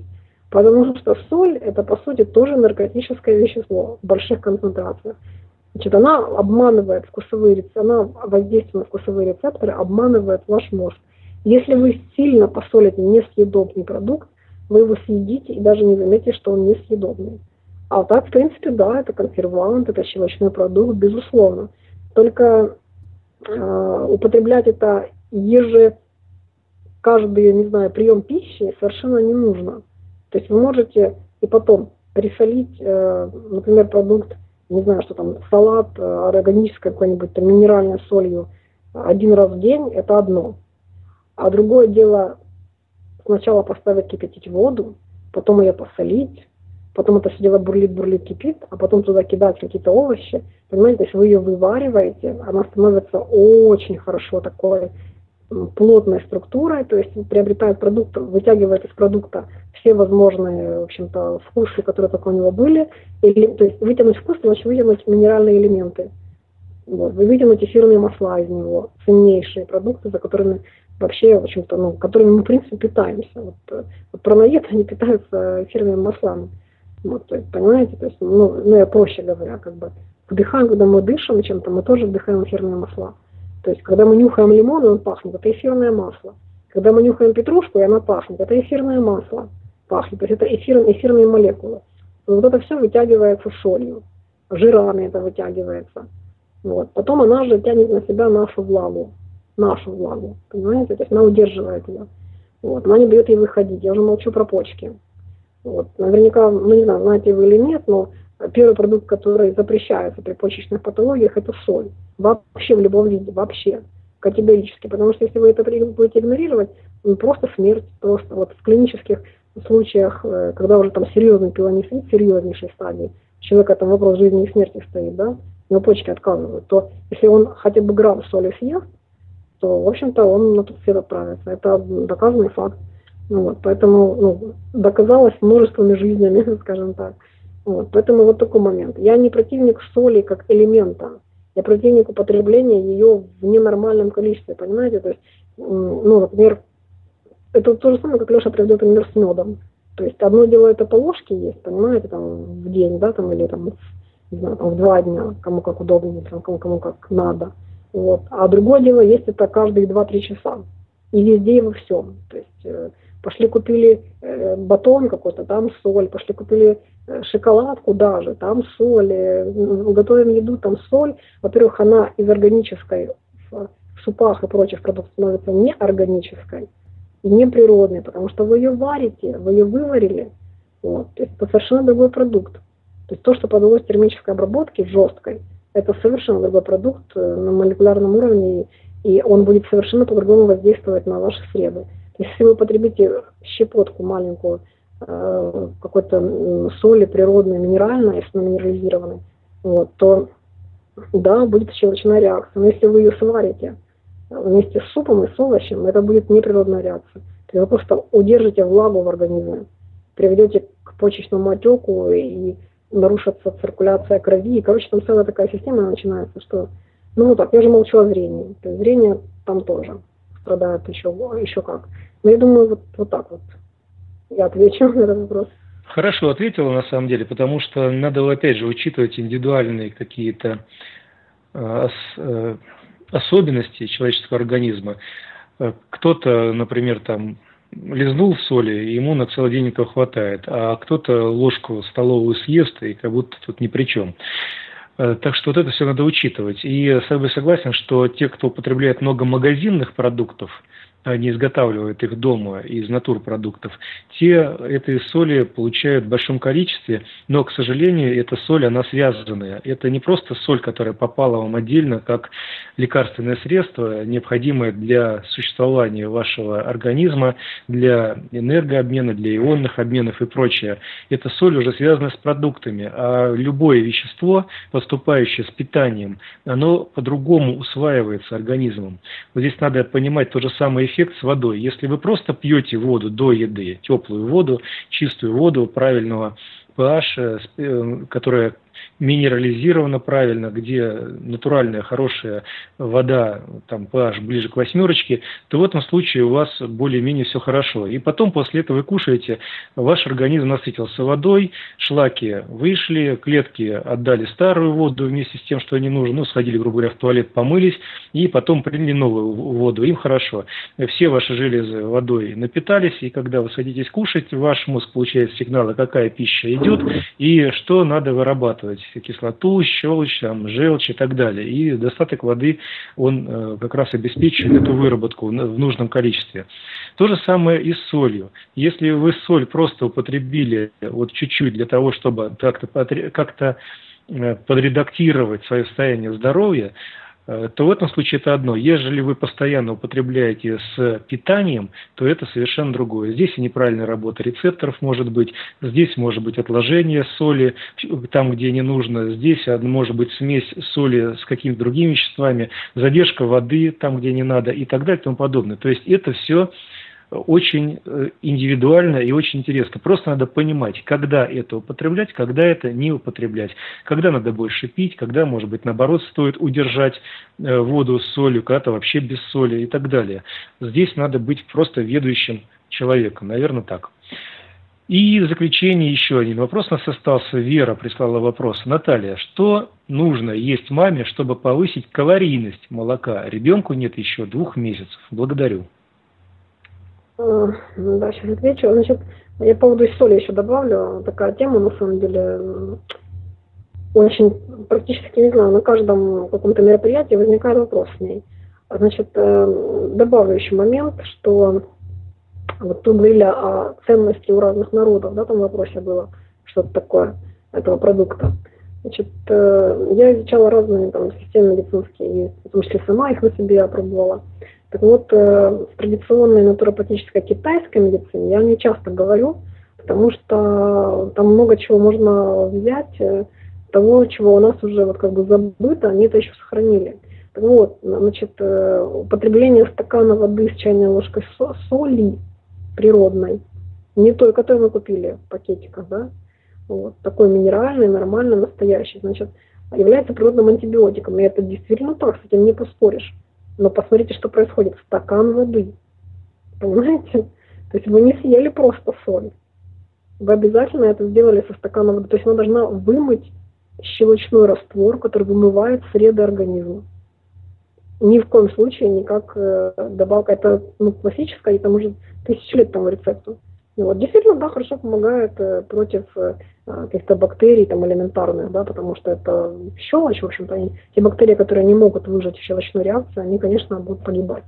То есть происходит выщелачивание сред вместе с, этим, с этой водой, но никак не прием его как просто вот просто элемента постоянно. Ну вот такой еще добав, добавка такая к прошлому вопросу. Теперь по этому вопросу. А, что есть момент, чтобы повысить калорийность молока? Ну, во-первых, понимаете, тут это такой индивидуальный случай. Я не знаю, что ест мама сейчас. То есть надо понимать, что она ест сейчас. А, надо понимать, что она пьет сейчас. Вот, э, что она ела до ну, то есть во время беременности. А давай рассмотрим так, до беременности, вот просто представь себе среднестатистическую статистическую маму до беременности. Это была обычная пища, в том числе шашлыки, про которые говорил, ну, надеюсь, без пива, конечно, угу. и не запивала шашлыки молоком. Хотя, если стати... среднестатистическое, то это было, скорее всего, скорее и, молоко там, было, да. и молоко было или в кофе, или отдельно, ну, как-то где-то было молоко. Ладно. Это вот. Еще, да. Да, бомба, да? Ладно, хорошо, оставили, разобрались. А сейчас, ну что врачи обычно не рекомендуют? Это нельзя, это нельзя, это нельзя. То есть, что там остается? Какие-нибудь супы на мясном бульоне, где-нибудь там какие-то овощи из того, что разрешено, опять же, гарнир, где присутствует мясо, ну и так далее. Скорее всего, ну, так. Да, да, я поняла. Значит, э, я бы порекомендовала есть проростки. Вот. Это, по-моему, вообще настолько легко и ценно, и очень сильно калорийно и питательно. Вот, э, вот можно проростки, вот прям любые, проростки гречки, проростки э, даже той же пшеницы, проростки маша, ну, я думаю, все знают, что это.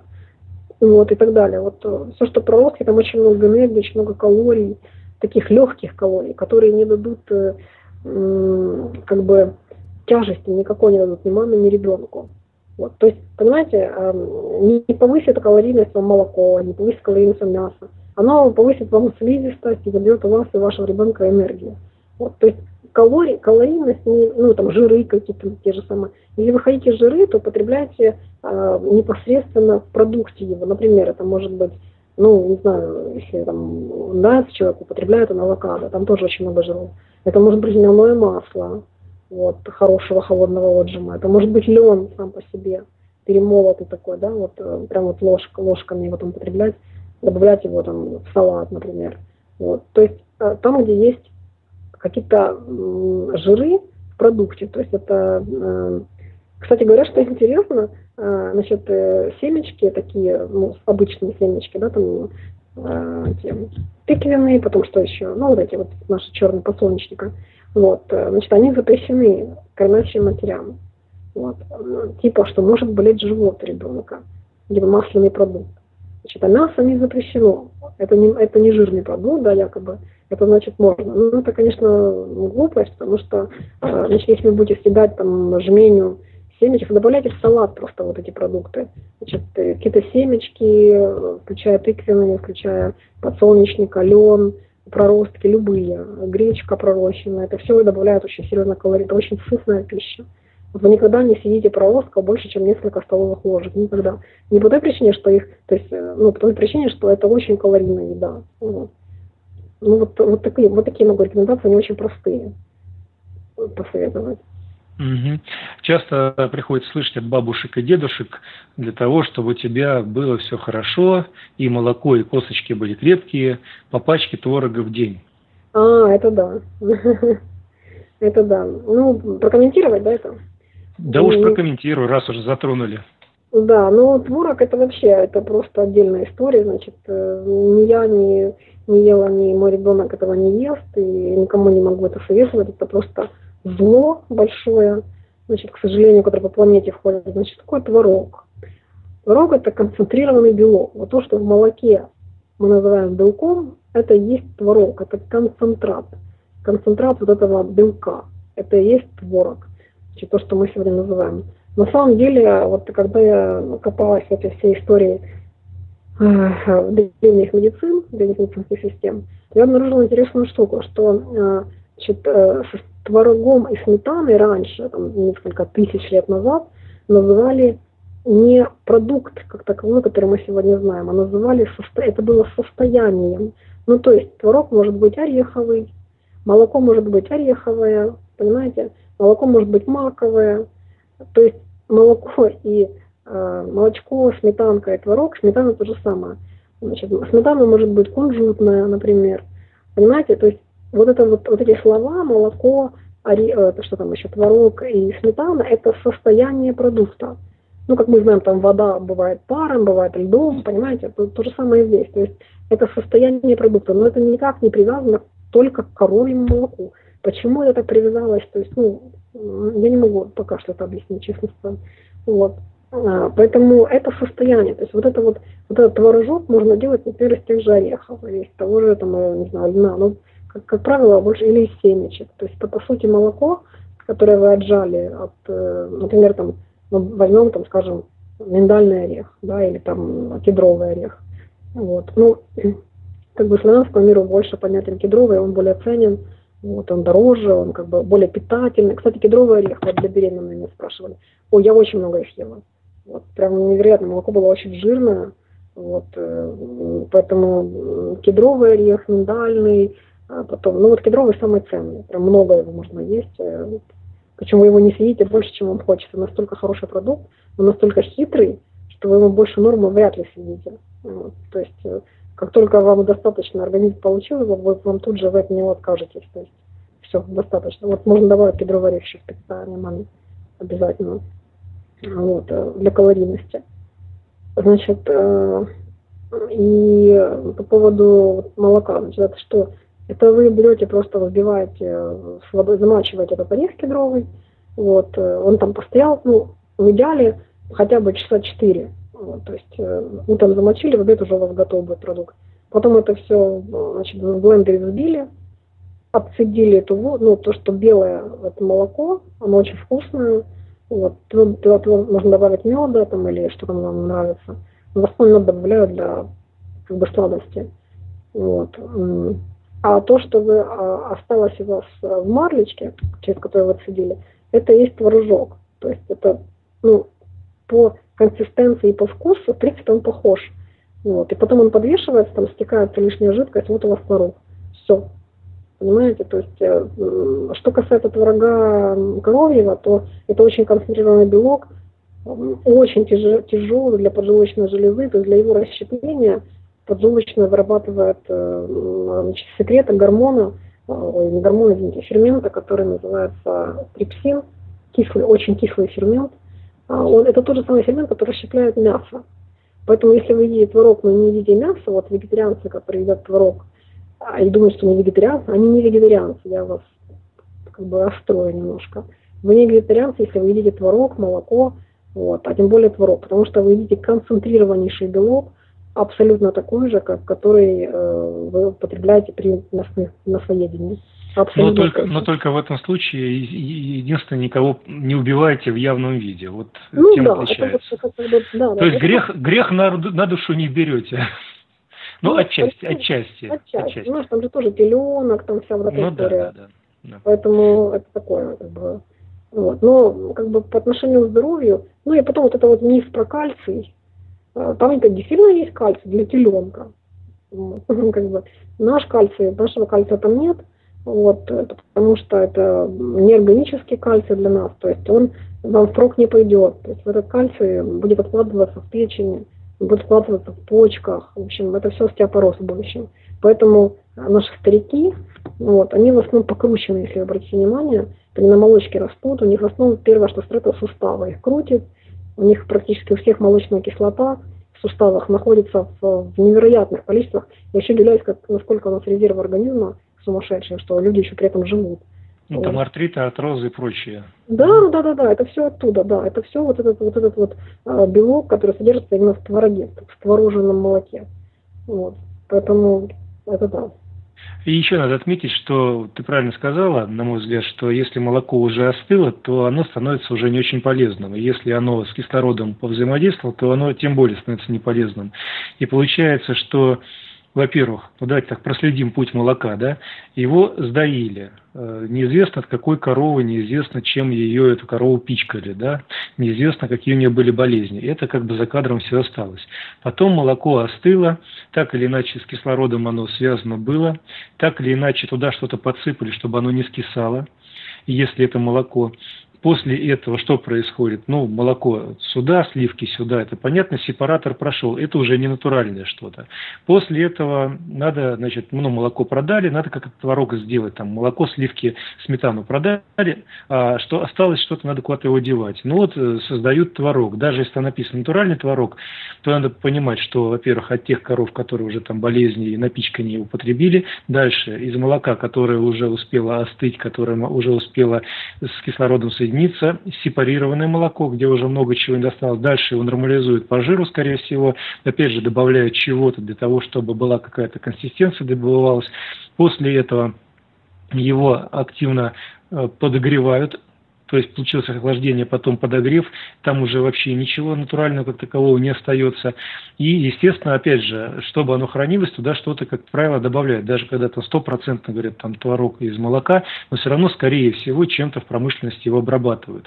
Дальше его где-то везут, где-то там оно находится с какими-то другими веществами, где-то там на него электромагнитные какие-то поля воздействия, да мало ли что. И вот он приходит такой, его опять охлаждают, то есть охлаждение, там опять нагревание, охлаждение, вот так несколько раз, и оно лежит, ждет своего покупателя.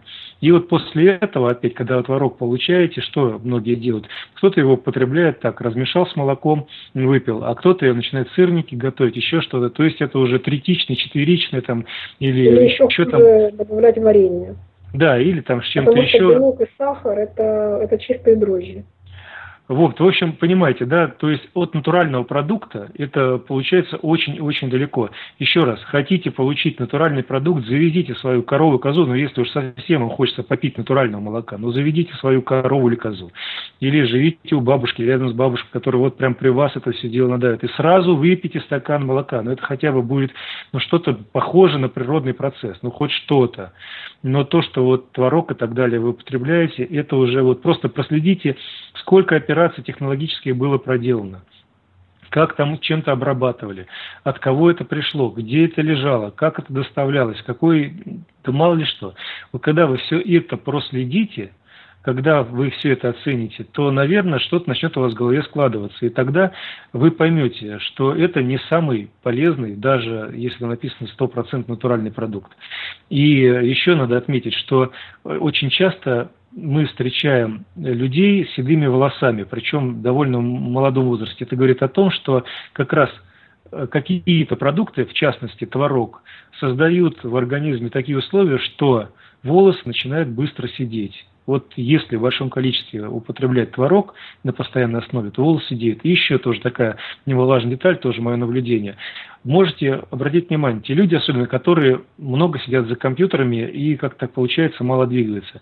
Если вы употребили в течение нескольких дней, употребляете молочные продукты, в частности творог, вы можете обратить внимание на то, что появляется хруст в тех местах, суставах, которые мало двигаются вплоть доходит до того, что у компьютерщиков часто пальцы правой руки, которые не мышку передвигают, они как-то так разворачиваются, выворачиваются, какие-то наросты появляются, суставы начинают болеть и так далее. И это все необходимо понимать что не так это все безобидно, даже если написано натурпродукт. Натурпродукт – это когда животное или растение вот сейчас прям отдали и прям сейчас употребили. Вот это натуральный продукт. Все, что подвергается обработке, натурпродуктом назвать уже можно с большой натяжкой или в некоторых случаях вообще нельзя. Хотя из натурального сырья изначально вроде бы делалось. Ну, в принципе, мы все вопросы с тобой рас... Наверное, закругляться по сегодняшнему эфиру, подводить какой-то итог. Ну, в общем, да, мы так, э, прошлись по основным моментам. Вот. Э, я все-таки как бы вставлю 5 копеек по поводу молока еще. Вот. Э, к сожалению, даже то, что мы там супер прям с-под коровы это выпьем, мы не, мы не уйдем от того факта, что все равно это продукт не наш. Вот. Это однозначно. Я просто сказал, да, что да, если да, уж вы хотите поняла. натур, то вот подойдите прямо вот кружку, зачерпните свеженадоенного молока и выпейте, или прямо надоите да, сразу и выпейте. И более того, я скажу, что, а, как правило, человек долго такой продукт употреблять не захочет. По-любому ему захочет, понимаешь, то есть а, люди, которые живут в селах, они это компенсируют свежими овощами там с огородов, понимаешь, это все очень сильно компенсируется, вот это вот влияние этого продукта. Если это делать в рамках города, то это будет жуть, конечно. Если употреблять городские овощные овощи, которые привозят, и употреблять это привозное даже хорошее молоко, то все равно это компенсировать ничего не будет, конечно же. Вот, да, и здесь, вот, кстати, сейчас, кстати, вот, как говорят, а вот же там всякие в Индии живут молодцы, которые там до 100 с чем-то лет доживают и пьют только молоко. Так вот, как раз тот же случай. Они не пьют молоко, привезенное из магазина. Они его потребляют от своей коровы, которую они сами кормят, за которой они ухаживают, и пьют свежее молоко, как это делают телята. Вот в этом случае они уже настраиваются организм, там вырабатываются, живут те бактерии, которые могут это все переработать, и они этим занимаются после постоянно, то есть их организм уже на это заточен, и корова их и они ее доят, как в том фильме. Да, это наша корова, мы ее доим. Вот это вот надо учитывать. Не сравнивайте себя, городского жителя или жителя какой-то э, средней полосы России или ближайшей к России каким-то там СНГ странам, где вы живете в городских условиях, вам привозят бутылированное или в пачках молоко, непонятно откуда, и вы говорите, я буду как йог индийский. Да не будете вы как йог индийский. Езжайте в Индию, заведите свою корову, и там живите там 30 лет, питайтесь только молоком этой коровы, и тогда еще мы на вас посмотрим, подходите вы под йогу или нет. Тем более, что там это с самого детства у них. То есть, как ребеночек родился, он с самого детства пьет это молоко и питается этим молоком. У него уже изначально на это все заточено. Вот это надо все понимать, а не сравнивать постное с пресным. Да, продолжай. Ну, ну да, я еще, как, как ты сейчас скажешь, что я опять всех напугаю, но все-таки ради справедливости должна отметить, что а, значит, Индия занимает первое место по диабету, вот, э, и занимает первое место среди всех бронхолегочных патологий, ну то есть всякие риниты, ларингиты, э, туда же, вся слизистая система, потому что это слизь, конечно, от этого никуда не денешься, и у них там центр на центре, который занимается конкретно лечением вот, вот этих всех процессов, значит, э, слизистых в организме. Это же все как бы тоже оттуда ноги растут, конечно.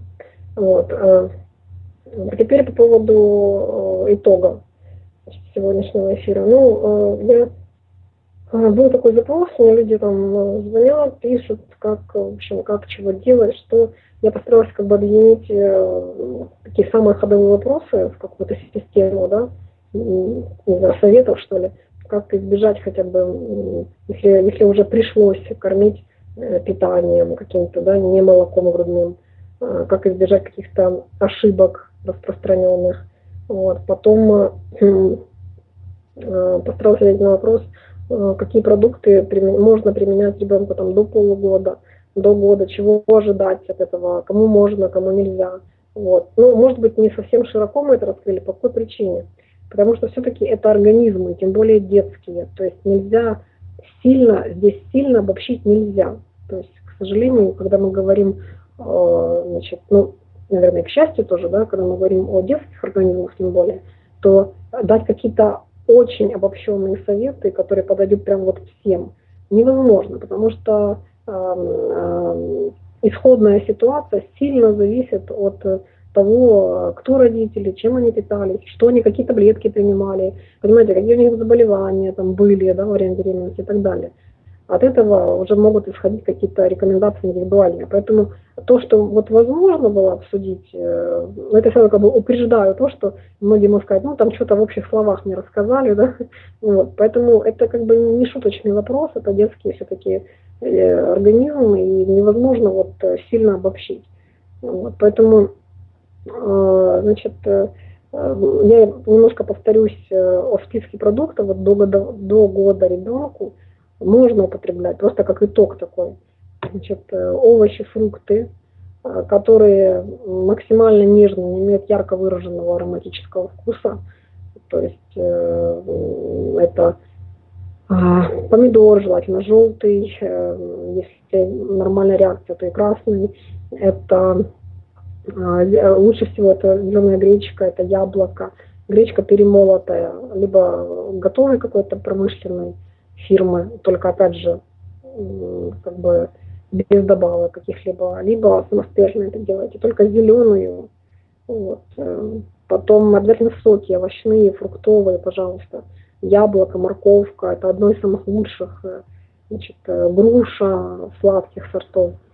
Вот такие вещи ребенку надо давать. Вот. Это, они с удовольствием это едят. Вам не придется вообще иметь никаких проблем с заставлением, Э, с вот этим вот за маму, за папу и прочего, этого ничего не будет. Значит, это, это просто он с удовольствием будет есть. Вот, поэтому, э, конечно, хотелось бы, может быть, больше где-то что-то рассказать, какой-то какой пункт, но э, я же говорю, мы, мы, мы загнаны в рамки того, что это очень слишком индивидуальная тема. Угу. Вот. И не парим, желательно не парить, не жарить, не варить, а давать желательно то, что можно в сыром виде употреблять. Это тоже ты на это обращала внимание. И да. не потребляем ни сахара, ни соли. То есть не подслаживаем, не подсаливаем, там, не подкисливаем искусственно. Вот все, что там есть в этих овощах, фруктах, то и должно поступать ребенку в том вы виде, как оно есть. Да. да, вы поймите одну вещь. Если вы начнете захотите дать ему огурец, его посолите, потому что вы так уже едите, да, вы так уже кушаете, то вы у ребенка, вы практически воруете у него э, возможность попробовать вот первозданность этого продукта. Вы уже сразу ему даете с допингом. Вы, вы, вы у него украли возможность почувствовать вот, вкус настоящий этого продукта. Потому что если он сорвет его на огороде, то он там будет без соли, понимаете? Вот, поэтому вот, не, не воруйте вот эту возможность дать ему просто яблочко в соке, либо в, в тертое, дать ему просто огурчик, пусть он сам решит, как ему удобнее. Либо он будет высматривать жидкость, либо он будет его надкусывать, да, и там что-то вышкрябывать пальчиком. Вот. То есть э, не лишайте возможности познакомиться с природными продуктами, потому что потом вам это сделать не удастся, если вы приучите его к вот этим допингам, вот, э, то есть компотик с сахаром, и вообще сразу, вот это вот, знаете, хороший момент я вспомнила. Все, когда начинают немножко взрослеть ребенок, там месяцев 7-8 начинают приучать к компотам. Замечали такую вещь? Значит, почему-то не к сокам, к компотам. То есть сразу вывариваем это все, выпарим. Он там час бурлит, кипит, там уже таких ягод ничего, никакой пользы не осталось. А может 300 градусов было. То есть все это вообще, это просто бурда. Понимаете, от этого брожения происходит. Потом, если после этого вы захотите дать ему сок, он откажется. Потому что в этом компоте он не, он не поймет этого, потому что он не может оценить ценность, он не может оценить вкус этого продукта. То есть, если вы будете ему давать только вареный компот из вареного яблока, то сок из сырого яблока, он не оценит его преимущества. Сколько, потом начнутся мучительные доказывания, бегание с бутылочкой, что это же надо, что это правило, родители начинают э, включать мозги там, на третьем году жизни, когда понимают, что надо что-то делать, потому что постоянно болеем, да, вот, э, и а уже не могут, потому что вам будет сложно объяснить. То взрослому человеку можно объяснить, что хоть как-то достучаться, там сознание какое-то уже начнет работать, да, понимание, что это просто надо, и человек начинает себя заставлять, то ребенку это сделать не сможете. Поэтому вот, я бы 300 раз советовала подумать, прежде чем начинать давать ребенку компоты, вот, э, или там сильно вываренные супы. Потом момент еще, который хотелось бы обязательно подчеркнуть, ни в коем случае никаких вчерашних приготовленных, никаких я утром приготовила, поставлю в холодильник, вечером дам. Такого быть вообще не должно. То есть если вы даже делаете какой-то, например, э, овощ или, или пюре овощное, или супчик какой-то на пару, например, то есть овощи на пару сделали, вот, и потом их там перетерли для ребенка, а, то это должно быть вот тут же, тут же. Это занимает 5 минут. Вот, э, никаких вот этих, ну, которые остыло, потом вы это все греете, это вообще жуть. То есть это у детей такого быть не должно, если вы хотите здоровый организм. Вот, поверьте, оно вам втройне это все окупится, если не 10, 10 раз. Даже вашим временем в будущем, что вы не будете тратить на, во-первых, погоню по квартире э, за маму, за папу, да, и, или там, я уже молчу о походах в больницы и прочее, прочее. То есть этот момент надо обязательно учитывать. Ну, я думаю, что если будет как бы интерес у людей, мы будем как-то продолжать подобные вещи, потому что ну, огромная вообще беда с этим вопросом, если честно, потому что при, при всем а, при всем доступе к информации, при всем опыте людей, которые это все прошли, а, к сожалению, вот невежество, оно плодится и плодится, и просто э, у меня такое ощущение, что вот э, как бы вот это вот, э, не знаю, как бы сказать, пропасть между теми, кто пытается что-то донести, и теми, кто как бы всячески этому противится, она еще больше увеличивается вот с появлением детей. Потому что вот эти пугалки медицинские, что это можно, это нельзя, это, это, это, это страшно, это о, ужас, вы, вы там во время беременности не едите мясо, у вас не вырастет ребенок. Ну, и такой бред иногда слышно. Скажите это там, сколько там миллионов индийцев, да? Вот, понимаете, то есть, ну, к сожалению, невежество, оно вот плодится, поэтому э, нужно защитить хотя бы детей. То есть, хотя, хотя бы пока, я бы еще так это сказала, что э, когда говорят, ты лишаешь ребенка там, права выбора, так вот на это а, значит, можно ответить следующее, что пока вы ответственны за его здоровье, да, пока он сам еще не сознателен, то вы имеете право выбора за него. То есть пока вы за него отвечаете, он еще не может выбрать осознательно. Поэтому вот, э, я думаю, что надо повышать сознательность, поэтому мы над этим будем работать в эфиры. Хорошо, хорошо.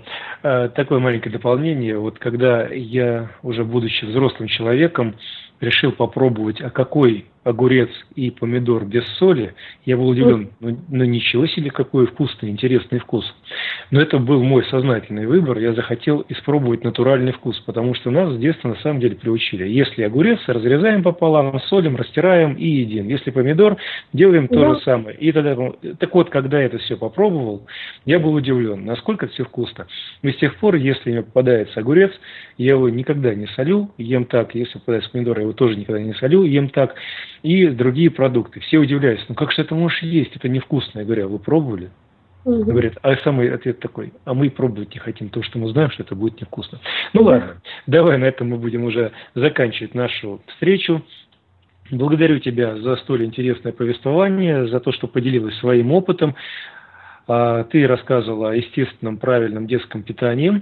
Сегодня у нас 14 июля 2016 года, четверг, 13 день месяца получения даров природы, 7524 лета, шестица по одному из старинных календарей. А ты – это Наталья Чернова. Чуть было не забыл сказать. Наталья Чернова, да. Надеюсь, мы еще с тобой услышимся. Наши радиослушатели написали, что надо, безусловно, продолжать просвещение. Благодарим за интересный информационно-познавательный эфир. Всего доброго, всех благ благодарю за познавательный нужный эфир. Было интересно. И вот э, на этих позитивных очень отзывах мы сегодня и будем раскланиваться. Итак, с вами было Народное славянское радио, Алексей Орлов и Наталья Чернова. А чтобы уже совсем соответствовать теме, поскольку мы ставили в паузах музыкальных колыбельные, я поставлю ту колыбельную, которая уже будет звучать привычно, та, которая все, ну, не все, наверное, большинству знакома и очень красиво исполнена в исполнении Анны Герман.